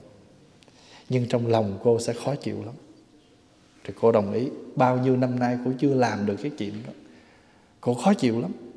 Pháp Hòa mới nói Pháp Hòa có nhá kéo ờ, gì nhá đại ba cái để quịch cái đầu của cô thì bây giờ nếu cô muốn hoàn cảnh cô chưa có khả năng, thì cô khấn đi.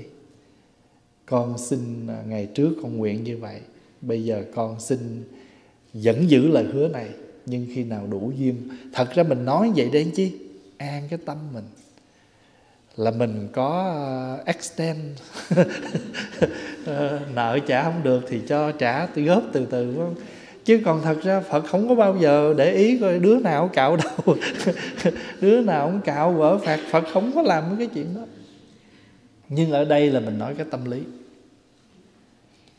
Thì Pháp Hòa mới nói tới đâu thì cổ gật đầu tới đó là vì xưa giờ cổ chưa làm được thì cổ khó chịu trong lòng lắm. Mà không biết ai bày cho cổ. À, sao cô biết vụ này vậy? Cổ nói người ta bày cổ. Lên xin nói với thầy nhá kéo ba cái để thế cái cái chuyện cạo đầu vậy. Quá nói không. Pháp Hòa nói với cô là trước sau giờ cô không phải cạo. Nhưng bây giờ nếu chưa làm được thì cô cô nguyện cô xin dời lại một lúc nào đủ duyên đi. Mới nói cách đây ba ngày, Chiều nay Linh xin cạo rồi. Pháp Hòa thấy cạo xong mắt rưỡi chứ gì đâu. Chẳng những vậy mà sao nữa? Xấu mặt thì lâu, Xấu đầu mấy chốc. Cái nguyện của mình xong rồi thật ra là không có mà không phải nói vậy, kể trển phật cười nó gút rồi đó. Trả nợ tôi. Họ không có làm mấy chuyện đó. Nhưng trong lòng của mình, từ cái nguyện ăn chay, nguyện cúng dường, cái gì mình nguyện thì mình làm thôi. Phật không có ghi sổ gì mình hết. Không có ai bắt tội gì mình hết á. Không có ai bắt tội gì mình hết. Và thí dụ lỡ mình gặp chuyện gì á, thì có đừng có đổ thừa nó, tại tôi nguyện mà tôi không làm cái giờ xui.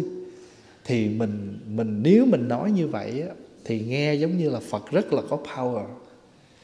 Nhưng mà hóa ra Phật cũng bình thường quá trời luôn. Ai mà nộp đủ thì phù hộ, mà nộp không đủ thì cho tai nạn đồ chơi vậy. Thay vì nhắc nhỏ đi, báo mộng đi nè, ê, hứa 500 cúng.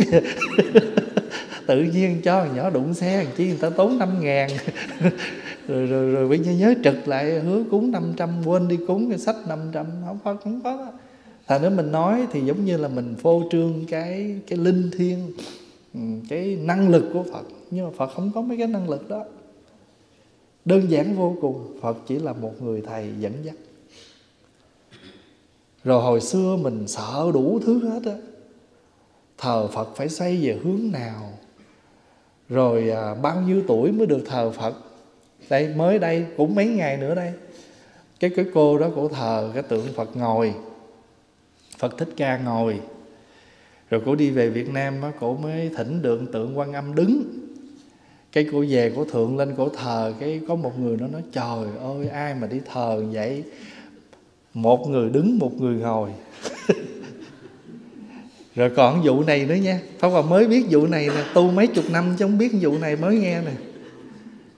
Ai mà đi thờ Phật Thích Ca với quan âm chung, Họ đâu phải cấp bồ rồi mà ở chung. tức là họ đâu phải một cặp bồ bịch với nhau mà thờ chung. Mô phật. Và cái mình bữa nay mới nghe vụ này nữa nè. Thế là con nó chết trời ơi hèn. Trời ơi, xin lỗi phật hồi nào vậy con không biết con thận cặp. Họ nói vậy đó quan âm với thích ca đâu phải bồ bịch với nhau đâu mà thờ chung. Họ dùng cái từ để, đâu phải khắp bồ đâu mà để chung vậy. Thế là cổ mới kiếm chỗ cổ tách hai người ra. quý vị thấy đó. Rồi cái là mai chiều mốt nọ là đi bây giờ là lên chùa đi kiếm cái tượng quan âm ngồi. Rồi xin tách hai bàn thờ ra tại vì không phải khắp bồ. Ông Hòa mới nói trời ơi đừng có nghe mấy cái đó. Rồi mới chiều đây. Có một cô đó cổ đạo tinh lành. Cổ vô cổ nói uh, thầy ờ, có một người nhắn cho tôi, nói là thầy sắp về Việt Nam. Bây giờ thầy đã gửi cô này về Việt Nam trước và thầy đã mua một cái cell phone tặng cho cổ. Và thầy đã đưa tiền cho cổ để chuẩn bị mua xe hơi để thầy về thầy đi. Rồi rồi với cái mục đích là để ờ, gây cái uy tín và vận động thêm tiền gì không biết nữa rồi cổ lên cổ cầm cái cái message cổ nhắn qua nhắn lại đó. Hỏi là thầy có gửi thầy có gửi ai về Việt Nam đi làm tiền trạm không? Rồi cho phone tay, rồi mua xe hơi, rồi vậy quá, nói không. Pháp Hòa đã nói rất nhiều lần rồi là Pháp Hòa chưa về Việt Nam và cũng chưa có chương trình về Việt Nam. Là điều thứ nhất, điều thứ hai là cũng không bao giờ gửi ai vận động bất cứ điều gì à, mới đây có một người nữa là đăng là pháp hòa đi kêu gọi từ thiện cho một thầy nào đó rồi à, với cái tên là gửi về account võ minh trí. À, việt việt com gì đó à, cái gì nhà băng ở việt nam đó. Đó thì mấy vị mới chụp mấy cái hình đó gửi qua cho cho cho email cho hòa xem đó. Thì pháp hòa mới nói là tại quý vị thật thường không có nghe nhắc thôi chứ quý vị thường nghe nhắc là quý vị nhớ là pháp hòa chưa có facebook riêng. Và cũng chưa bao giờ nhắn ai tiền bạc gì hết. Ở đây đó, phật tử đây mấy chục năm, có bao giờ pháp hòa gặp quý vị, pháp hòa nói cái gì, chuyện vận động sinh sở gì đó. Cho mình đừng, đó, thì mình có nghe mình mới mở ra. Chứ không thôi thì nếu cổ không gặp pháp hòa cổ hỏi á, thì mãi mãi cổ nghĩ rằng pháp hòa đi vận động cái chuyện đó. Hay là bạn bè của cổ sẽ nghĩ là như vậy. Nhờ cổ lên hỏi dùm thí dụ vậy. Cho nên mình nghe pháp á, chữ nghe pháp đang có nghĩa là mình nghe những cái điều à, thần quyền mê tín để tôn kính một cái đấng nào. Nhưng mình nghe để mình mở ra cái gì đúng cái gì sai.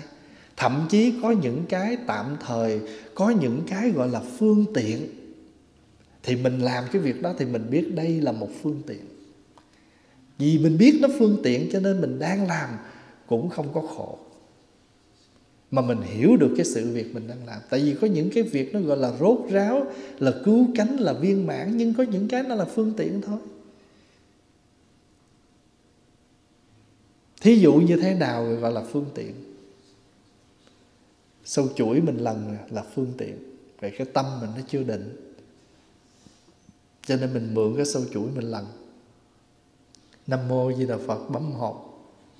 Rồi có khi á, để giúp cho mình định tâm á, mình niệm ba câu một hộp. Nam mô di đà phật nam mô di đà phật nam mô di đà phật bấm một hộp. Ba câu phật vô một hộp chuỗi. Mình làm vậy chi để cái tâm mình ghi cái số là ba? Hay năm hay mười? Thì trong khi tâm mình ghim vô gắn vô cái chỗ mười hay năm thì không có nghĩ gì nữa hết. Thì cứ năm câu mình ghi cái xúc số năm câu mình bấm một hộp. Như là, là một phương tiện.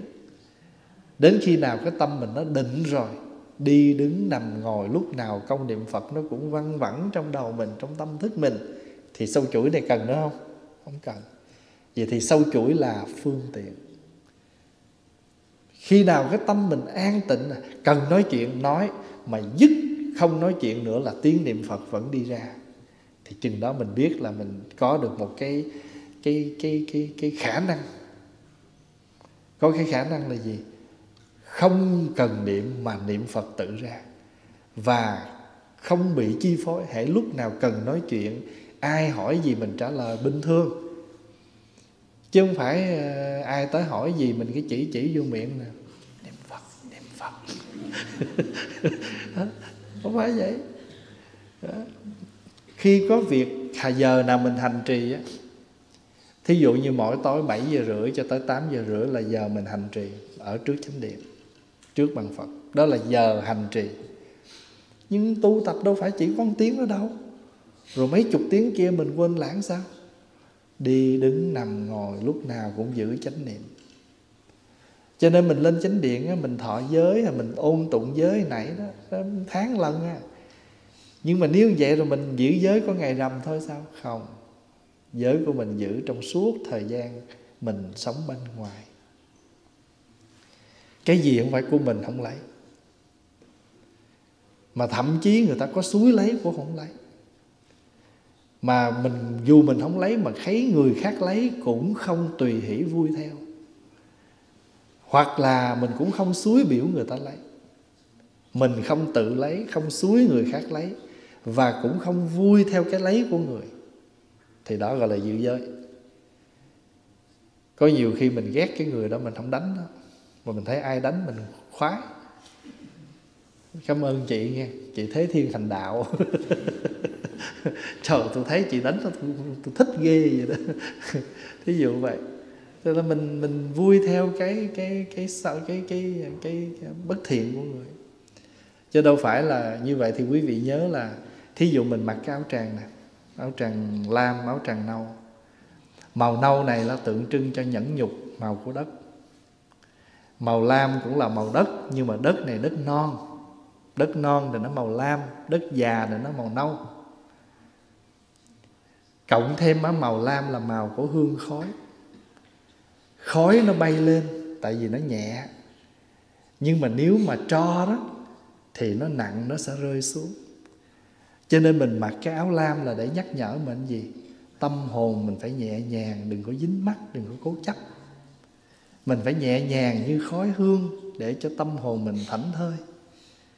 Điều thứ hai là mình cũng phải học nhẫn nhục dù mình chưa phải là đất già chưa chưa có đà, đà nâu chưa có đen thì mình đất cũng là đất nhẫn. Như vậy thì khi mặc cái áo này là nhắc nhở mình mặc cái áo của nhẫn nhục thì không lẽ giờ tụng xong tiếng đồng hồ, cất cái áo tràng hết nhẫn? Vậy thì bình thường mình mặc nó, nhưng bất cứ ở đâu, đi đứng nằm ngồi, mình vẫn nhớ là mình đã từng khoác cái áo này lên, để gọi là áo nhẫn nhục. Rồi cái áo trước nè, đây, ngay đây có một bên, ngay đây có một miếng, hai miếng vải nó ráp lại.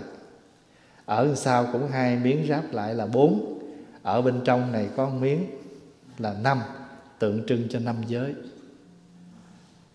Thì mình mình nghe xong mình hiểu được và mình biết rằng năm giới này không phải là mình chỉ lên chánh điện thầy truyền giới thứ nhất không giết hại chúng sanh quý vị giữ được không? Dạ giữ được. À, rồi tháng nào lên cái trong tháng qua quý vị có giữ giới này không? Dạ có. Nhưng mà bình thường là mình cay nghiến lắm. Thành nữ ra mình biết rằng cái mà chúng ta thọ, cái chúng ta mặc, chúng ta làm, nó ở một cái hình thức giờ giấc nào thôi. Nhưng không lẽ mình tháo cái đó ra rồi mình không còn cái gì sao? Cũng giống như ông vua, ông lên triều thì ông mặc ông mặc cái gì? Long bào. Đội mão nhưng mà bình thường ông xuống dưới hậu cung rồi thì ông ra, nhưng mà ông vẫn là, ông vẫn là vua. Ông phải có cái tác phong con vua, thì mình cũng thế thôi không lẽ mình mặc cái áo tràng này lên mình mới chiểm trệ, uy nghi, làm phật tử, rồi bình thường mình là phật chết à? không phải. Mình hiểu được như vậy. Cho nên nghe pháp, nghe để mình mở, mình hiểu. Vì pháp là gì? Pháp là chân lý, là lẽ thật, là con đường. Tại có những cái mình cũng hiểu nhưng mà chưa hiểu được tới cái chân lý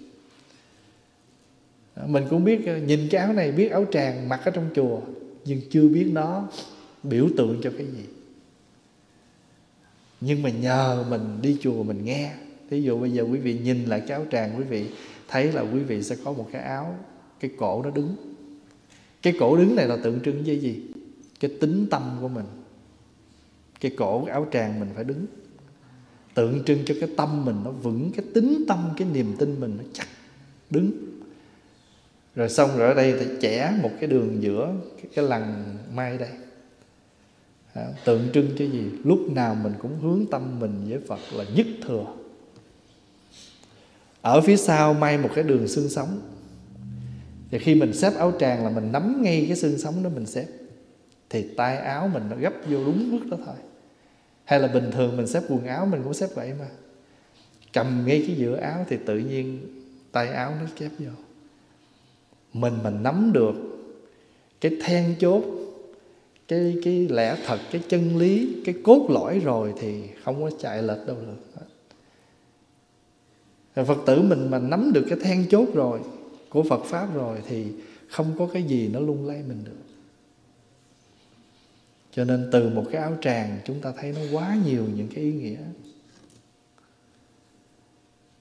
Ở chỗ này đó mai cái tròn, ở sau đắp một miếng vuông người tu phải vuông tròn. Còn thầy tu á, đầu thì tròn, áo chắc vuông. Cái y của các thầy á mai nó vuông. Cho nên nổi một cái y phục thôi. Y áo mặc hàng ngày nó cũng chuyên chở. Đó là chưa nói cái chấp tay của mình. Cái chấp tay của mình có nhiều người người ta chấp tay. Chấp tay vậy cái ta lấy cái ngón cái ta đè lên cái ngón cái. Tay phải, cái ngón cái của tay phải đè lên ngón trái có có thỉnh thoảng có thấy thí dụ người ta hỏi, ủa, cái đó là chấp vậy đúng không? Cũng được, giải thích cũng được. Lúc nào cũng phải lấy cái thiện. Thiện là nằm bên phải nè. Nó ngăn che cái xấu. Cho nên lấy cái cái ngón phải đè lên ngón trái bên trái này là tượng trưng cho cái sai. Không? Cái không đúng. Thì mình mình thỉnh thoảng mình thấy có nhiều người ta chấp tay, ta lấy ngón, cái ngón cái ta đè, cái ngón cái bên phải, tay phải ta đè lên. Mình chấp tay, không có 10 ngón xa le rồi để chỉ cho gì? Hiệp tâm. Nhưng mà nếu như mình càng nghe mình càng mở, càng thông, thì mình biết là mình nghe pháp có kết quả. Cho mình, nếu mình dừng cái nghe đó, thì mình sẽ không được mở mang thêm.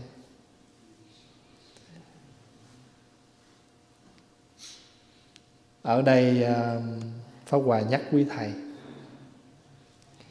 khi mà các con à, tổ chức những buổi pháp thoại, pháp đàm cho các em thì các em mà nó càng thích đi học á, nghĩa là mình cũng có lợi là vì sao? Mình phải nghiên cứu. Mình phải đọc sách, mình phải tìm tòi để mình có thêm tài liệu mình hướng dẫn. Như vậy thì một thầy giáo mà dạy học sinh á, học sinh có lợi từ người thầy giáo. Nhưng mà cái người đầu tiên lợi nhất, lợi đầu tiên là ai? Chính là người thầy, tại người thầy phải nghiên cứu. Mấy tháng nay à, chùa có một vị sư người tích lan đến ở tạm thì à, hôm qua sư mới lên xin pháp hòa. Sư nói là có một đạo tràng ở bên miền đông canada mời sư để hướng dẫn. Thì à, tại vì trước đó trong một cái buổi nói chuyện á, thì pháp hòa nói như vậy thì các thầy có dịch cho sư nghe. Thì sư cũng nói là hồi trước á, tuần nào tôi cũng à, pháp thoại cho nên lúc đó tôi nghiên cứu sách vở được nhiều lắm mấy tháng nay tôi không có làm gì hết cho nên tôi bỏ vùi sách vở hồi chiều nghe thầy nói vậy cái nó giống như nó nó nó nó nó, nó tưới tẩm cho ông vậy đó. Thì đúng lúc à, có một cái hội Phật à, một cái nhóm Phật tử hội Phật giáo mời. Thì Pháp Hòa mới nói tốt thôi. Tại vì sư thì Pháp Hòa mới nói người Việt Nam người thầy tu Việt Nam có một câu chúng con là sứ giả của Như Lai xin nguyện suốt đời hiến thân cho đạo, gọi là dấn thân cho đạo. Đạo nơi nào đạo pháp cần chúng con đến, nơi nào chúng sanh cần con đi. Đó là lời phát nguyện của một vị xuất gia theo phật giáo việt nam. Và đó là lời của hòa thượng tổ thiện hoa khi ngài tổ chức những cái khóa học sứ giả như lai. Ngài kết thúc ra trường thì các thầy sư giả như lai đó. Sư giả như lai là gì? Là một người đi thuyết pháp. Hai nước mà chiến tranh với nhau phải có một sứ giả để mà đàm phán, để mà cầu hòa. Thì mình mình là một người tu, mình đến với chúng sanh, mình làm sứ giả của Phật để mang cái thông điệp chân lý đến với những người chưa biết chúng con là sứ giả của Như Lai, xin nguyện suốt đời dấn thân cho đạo. Chỗ nào, nơi nào đạo pháp cần, chúng con đến. Chúng sanh cần, chúng con đi. Chẳng nề gian lao, chẳng nài khó nhọc. Thì pháp hòa nhắc sư như vậy họ nói, chúng tôi có câu đó. Cho nên ngày nay sư, mấy tháng nay, sư ở đây thì bây giờ có nơi nào cần sư cứ đi. Khi nào ta hết cần mà sư thích thì sư trở về đấy. Ông mới đây ồ nhưng mà tôi rất là thích ở đây à, với các thầy tại vì các thầy ở đây rất là friendly rất là à, tình huynh đệ. Pháp Hòa nói đúng rồi nhưng mà thủy chung người tu phải lên đường. Đức Phật hồi xưa dạy vậy đó này các thầy các thầy hãy lên đường. Các thầy phải chia ra nhiều ngõ để đi. Và các thầy đừng đi chung. Mỗi thầy phải đi một hướng để đủ người để hướng dẫn. Thành nữ ra đến lúc mà các vị đã đủ, gọi là chân cứng, đá mềm. Ở trong gia đình phật tử, quanh vũ có một cái cái đoàn quanh vũ tức là đoàn nhỏ nhất trong gia đình phật tử thì các em mà nhỏ xíu 6 7 tuổi mà mới bắt đầu vô á, 7 tuổi nó vô á thì nó vô quanh vũ nhưng mà nó là gì biết không? Nó là con chim mà cái bằng cấp của nó là gì? Nó gọi là con chim là nó kêu là à, con chim này là sơ sanh mới bắt đầu sanh. Rồi từ từ mới mở mắt rồi cánh mềm rồi tung bay vỗ cánh rồi tung bay tức là cái từng bậc vậy đó giống như một con chim đừa xanh trong một cái ổ, rồi từ từ nó mở mắt, rồi từ từ nó có lông, có cánh, rồi nó mới bay. Cho mình một người tu mình đủ khả năng rồi thì mình tiếp tục đi lên đường hành đạo. Đối với sự trì giới bố thí, nghe nhiều. Nghe nhiều để làm gì? Để có chánh kiến. Chánh kiến chân thật ngay thẳng đối với sự mình có cái chánh kiến chân thật đối với gì? Đối với bố thí đối với trì giới đối với đa văn. Tại vì mình làm bất cứ việc gì mà có chánh kiến à, có chánh kiến đối việc đó thì việc đó nó không sai. Phong và ví dụ Bây giờ à, mình à, lau nhà Mình bổn phận mình lau nhà Thì người lau nhà Phải có một chút hiểu biết gì về vấn đề lau nhà ví dụ ha, cái sàn này bây giờ nó nó nó nó đóng đất dơ quá. Một cái sàn gạch đóng đất dơ quá. Mình thấy nó dơ quá, cái bắt đầu mình vô mình lấy cái cây mớp cái cây lau nhà mình nhúng nước, mình dặn gân, mình ngồi mình kỳ mình ấy. Đất nó dính cái kiểu đó, đẩy làm sao mà nói? Hao sức mà đâu cần thiết. Bây giờ cái nghệ thuật là lấy cái cây mớp nhúng nước đi một dạo cho nó có nước. Xong hết rồi bắt đầu cái nước đó mới ngâm nó ngâm làm cho mấy cái đất đó nó, nó dính nó mềm. Nó mềm xong rồi bắt đầu mình lấy cái mốt mình nhúng khô mình đi vòng trở lại. Đi nhẹ nhàng mà đi tới đâu nó sạch tới đó. Đâu cần dùng sức đâu. Vậy thì khi mình lau nhà nghe rất đơn giản nhưng nếu anh không có chánh kiến chánh tư duy cái cách cái nghệ thuật anh lau nhà, anh lau rất mệt mà chưa chắc nhà nó đã sạch. Còn anh biết cách thì lau sạch mà không mệt. Sau khi anh lau xong rồi, anh nghĩ anh giặt cái mốt đó, anh giặt cái cây đó bằng nước nóng cho nó sạch. Anh giặt đúng, nhưng anh thiếu một cái phần cuối. Anh phải xả cái cây cây lau nhà đó bằng nước lạnh. Để chi? Để khi anh phơi nó không bị hôi cái cây lau nhà đó mà anh xả nước nóng xong anh phơi coi bữa sát anh đổ nước cho anh nó hăng cái mùi lên khó chịu lắm. Khăn bàn cũng vậy, khăn lau chén cũng vậy. Bất cứ khăn nào giặt rồi mà cứ để xả nước nóng mà không xả qua nước lạnh là tới hồi nó khô rồi bỏ vô nước mà xài lại nó có hăng cái mùi hôi. Mình à, ở đây có ai nấu ăn mà bọt rồi nó dơ ra bên cái lò đó? Mua easy off. Về rất kỳ có hết sức của mình mà nó trầy hết trơn. Ta phải để cái nước nó ta ngâm, nó hồi, nó thấm vô mình chỉ cần chui. Rồi chùi mấy cái kiến à, nhà tắm nè. Chỉ cần à, baking soda rồi à, xà bông rửa chén diễn giấm nữa thôi là đi một lớp. Để đó một chút xíu rồi mình trở lại lớp thứ hai là nó sạch, nó nó bóng, thí dụ vậy. Bất cứ cái gì nó cũng có cái nghệ thuật của nó. Mình làm không có cái chánh kiến. Đi rửa chén mà chung trà rồi đổ đại vô trong một cái cái thao dầu mỡ lung tung, vừa mất thời gian mà làm cái chung đó nó không sạch. Nó là chung uống nước mà, mình rửa riêng. Nó không cần phải mất sức mà dầu mỡ nó không bám vào ly nhất là uống nước trà, nước sôi đổ vô cái lăn màng, cái màng mỡ nó còn dính trên đó.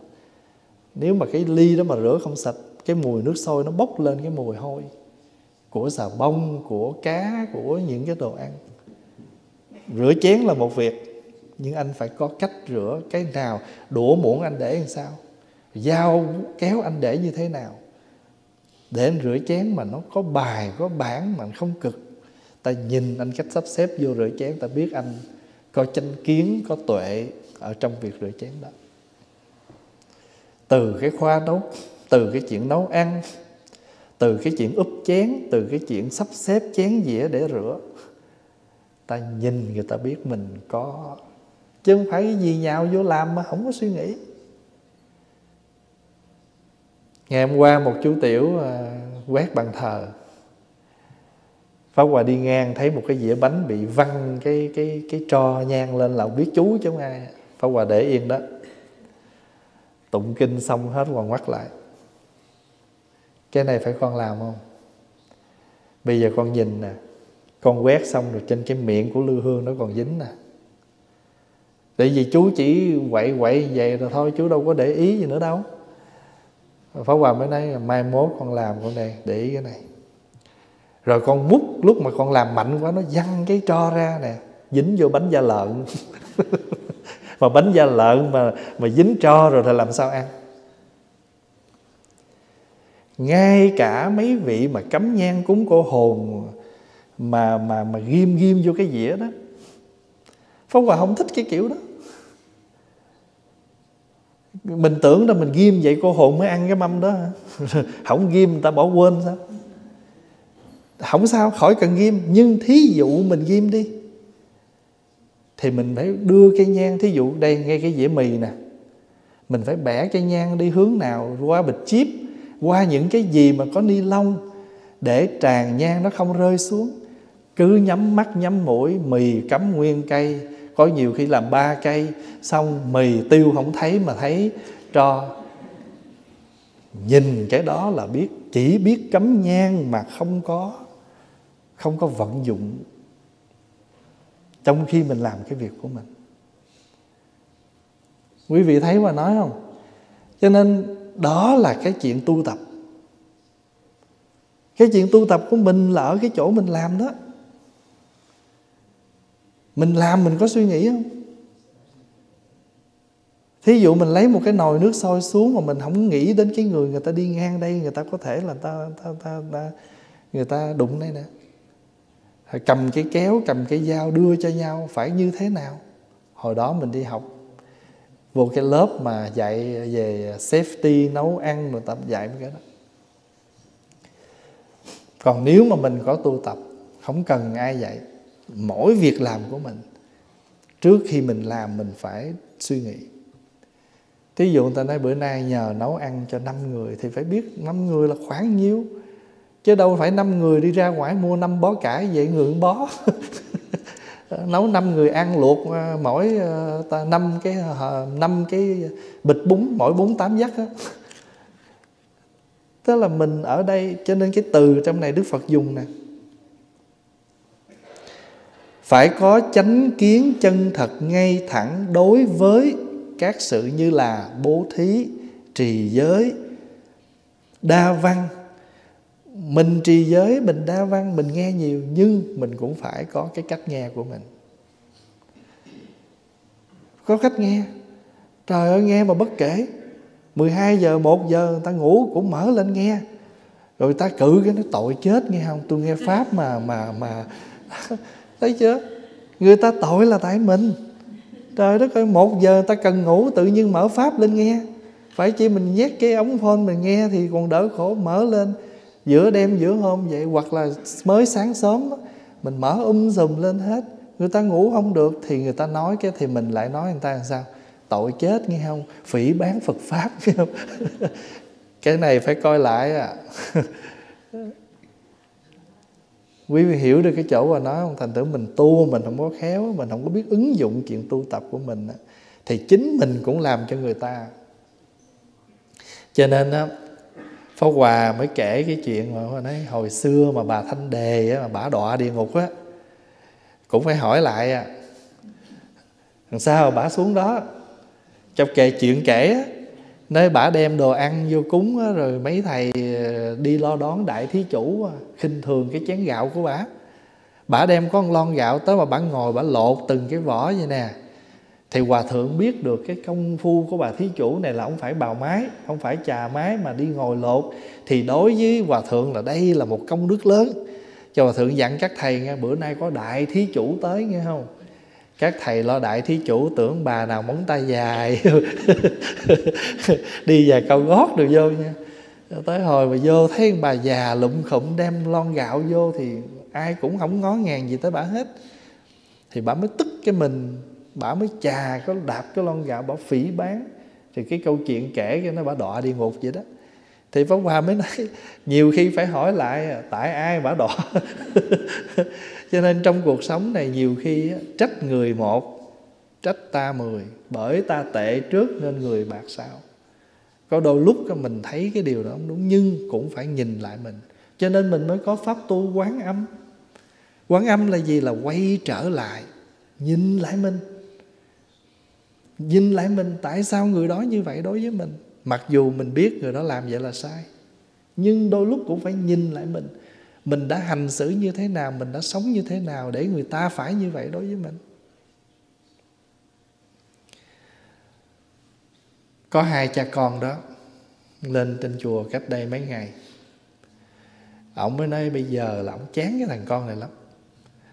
Là bây giờ là gây gỗ hai cha con rồi đuổi nó đi thì khi đó nó đi về rồi pháp hoàng mới nói chú à mình làm gì làm mình vẫn là cái người cha người mẹ mình phải thấy nó có quyền nó làm vậy mà chú theo mỗi lần chú la nó xong á. Rồi chú á, ôm một cục tức phiền não nó giận dỗi đập bàn chửi lộn nó đi cho nó mình mình định cho nó một cái tên là bất hiếu. Hỗn rồi chú thì chú tức. Rồi bà vợ chú đứng ở giữa đó cũng khó xử thành thử ra chính mình hành xử đã làm cho mọi cái việc nó nó nó khác đi. Thì bây giờ thôi, bây giờ muốn cột dây thì phải hai đầu. Một đầu muốn cột, một đầu không đâu được. Thôi mình làm lớn, mình lỗ. Mình làm cha làm mẹ. Nó đi ra ngoài, nó chết bờ chết bụi, mình cũng lãnh nó về chứ mình bỏ nó đâu. Cho nên làm gì làm, mình vẫn lỗ à. Nói nói cho cùng là nếu mà suy tính không, thôi bây giờ mình thay vì chú la nó hoài không có kết quả thì mình nói chuyện. Chú thấy mỗi lần la là mỗi lần có chuyện. Chứ đâu có mà chú la là bao giờ cái lời nói chú nó dễ thương đâu. Chú nói đi chú tập nói đi chú đừng la. Nói thì người khác sẽ nghe mà la là người ta khác hoảng sợ. Nhiều khi á, mình muốn người ta tu mình tu trước đi. Mình tu trước thì mình mới cảm hóa được cái người không tu thì mình cũng như vậy thì làm sao mình cảm hóa người kia? Cho nên á trăng nó sáng nhưng mà mình hồi đầu nó sáng nhưng mà sống một xiết làm sao nó mờ giống như một cái gia đình mà vợ chồng mới cưới vậy đó. Từ ngày có em về nhà mình toàn ánh trăng thề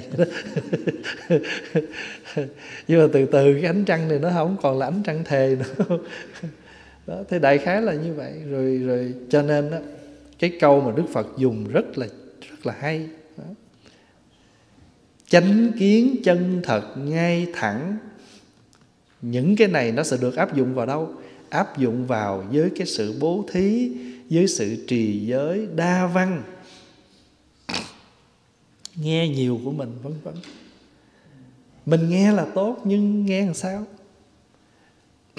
Mình tụng kinh là tốt mà tụng làm sao? Mình chăm sóc người đó là tốt, nhưng chăm sóc như thế nào? Mình thương người đó, nhưng mình phải biết cách thương. Mình phải có cái chánh kiến, phải có cái tư duy, có lòng từ, phải có trí tuệ về cái cách đó. Có đôi khi à, một cái chuyện rất là đơn giản là mình chỉ lo mình xếp kinh. Nhưng mình quên trừ hao là người ta đứng trước, đứng sau rồi khom lên, khom xuống. Để sát rạc với nhau, cuối cùng đội nhau hết. Người này được khom xuống đội người kia, cái là bắt đầu nhích tới, nhích lui. Thì từ cái đầu mình không có tính trước, thì một lát nữa đạo tràng nó không có được ổn định. Cho nên cái câu là đạo tràng đã ổn định, thì mình đặt một cái câu hỏi ổn định sao? Ổn định sao? Người mọi người vô hết kêu là ổn định nè nó ổn định từ cái hình thức cho tới những người tham dự. Cho nên cuộc sống tu tập nó thể hiện như vậy. Cho nên nhà nào cũng có một ánh trăng. À, cứ đúng ngày là trăng nó tỏ. Nhưng sở dĩ nó không tỏ là tại có mây che.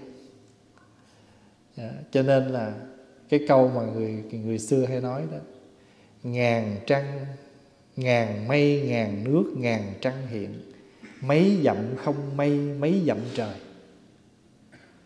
Thiên giang hữu thủy, thiên giang nguyệt, vạn lý vô vân, vạn lý thiên. Vạn dặm mà không có mây thì con đường nó thênh thang. Nhưng mà nếu ở dưới này mà có một ngàn cái cái hồ nước, mười ngàn cái hồ nước mà trên kia mà chỉ cần một ánh trăng trong thôi, thì nó sẽ soi chiếu xuống 10.000 cái hồ nước dưới này. Cho nên một cái mà nó thanh thì các khác nó thanh theo. Mà cuộc sống tu tập của chúng ta mỗi ngày là chúng ta muốn giảm. Hồi nãy à, trước khi ra đây, Pháp Hòa có khai thị cho một người bệnh nặng sắp mất. Đấy. bây giờ cô còn buồn ai không? Dạ còn. Thôi đừng buồn nữa. Tại vì mình buồn người ta mình nặng lòng. Bây giờ tới giờ lúc phải xả. Tại vì mình phải thấy rằng thủy chung, cái thân mình đây cũng phải xả. Mà trước khi mình xả báo thân, thì mình phải xả mọi cái oán kết trong cái bài tụng nguyện cho con khi xả báo thân như vào thiền định. Nghĩa là khi bỏ cái thân này, con nhắm mắt, con đi nhẹ nhàng như con vào trong một cái cái cái thời ngồi thiền vậy đó. Xả bỏ báo thân như vào thiền định. Thì trước khi mình muốn được nhẹ nhàng như vậy, mình phải xả oán. Xả mọi oán kết. Pháp Hòa xin phép à, dùng một cái ví dụ. Thí dụ như bây giờ mình đi một chuyến máy bay dài Xuống tới phi trường Trước khi mình ra xe, Mình biết là người ta sẽ đón mình Và mình sẽ đi một cái khoảng đường nào đó Mình không biết bao xa. Nhưng mà giờ trong bụng mình đó là mình đang mắc đi vệ sinh, Thì chuyện đầu tiên mình phải làm gì? mình phải đi vệ sinh, tại vì mình muốn xả. Xả cho nó nhẹ rồi mình mới yên lòng đi một cái đoạn đường tiếp. Và thậm chí trước khi đi đâu nè, sắp sửa đi xa 3 tiếng nha. Bà con nào có muốn đi rửa tay, đi vệ sinh gì đi trước nha. Tại vì một lát mất công lắm à. Phải không? Có phải mình nói vậy không? Thì cũng như thế. Mình sắp sửa đi không? Không biết. Nhưng mà mình sẽ ra đi trong bất cứ giây phút nào.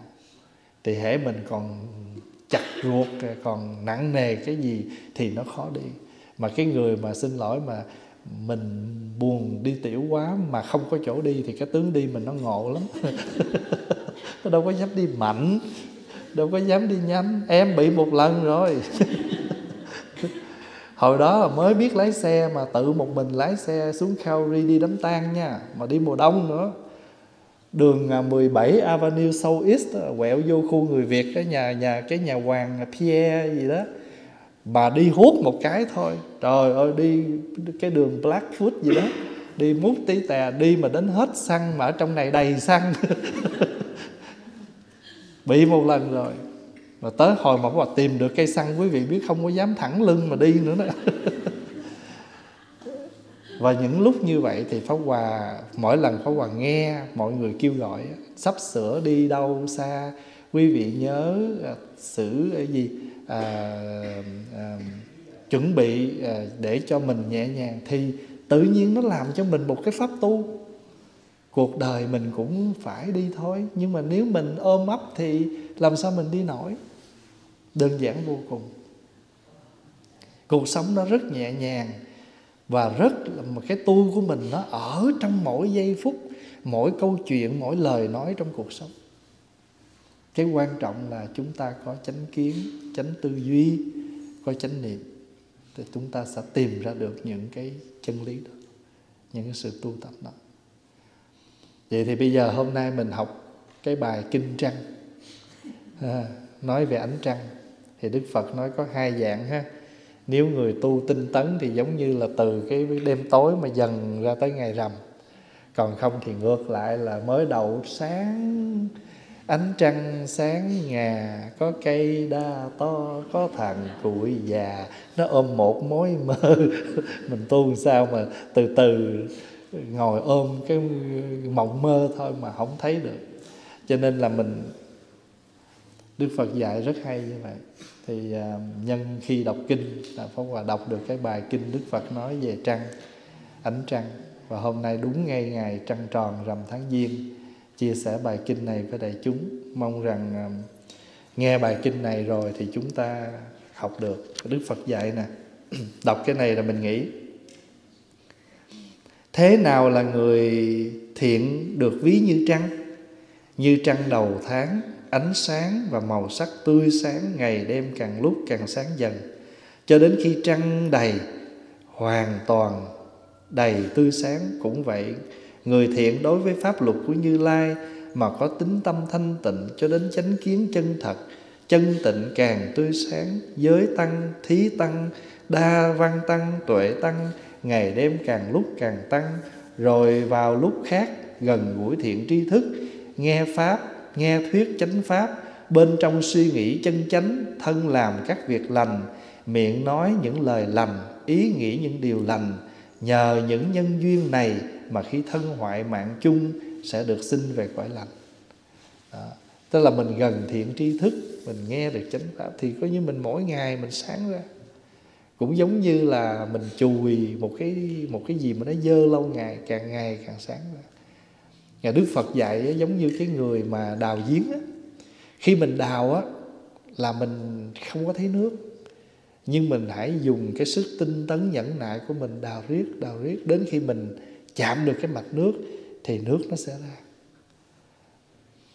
Cũng giống như người đi đường, mình đây xuống calorie. nếu mà một lúc mình lái mà mình thấy calorie hai trăm rưỡi cây calorie hai trăm ba mươi lăm cây thì mình biết là mình đi đúng đường là gì. Cây số nó mỗi ngày, nó mỗi giảm dần. Mặc dù calorie chưa tới, nhưng trong lòng mình có một niềm tin rằng đi đường calorie đúng còn mình đi hồi thấy chữ Calvary nó không thấy mà Jasper đường nào đó là mình biết rồi ha, không phải rồi yeah. Dạ.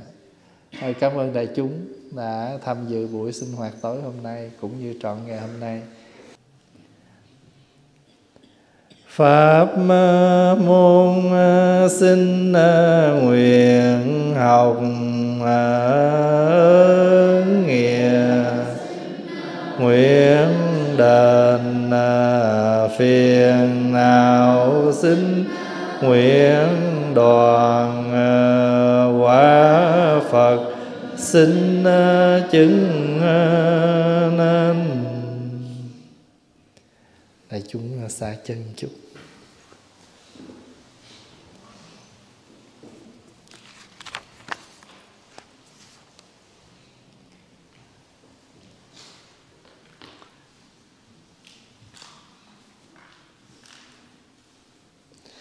Mình à, đang học kinh Kim Quang Minh. Quý vị đang có trước mặt đó tháng 3 tháng 3 mình học tiếp.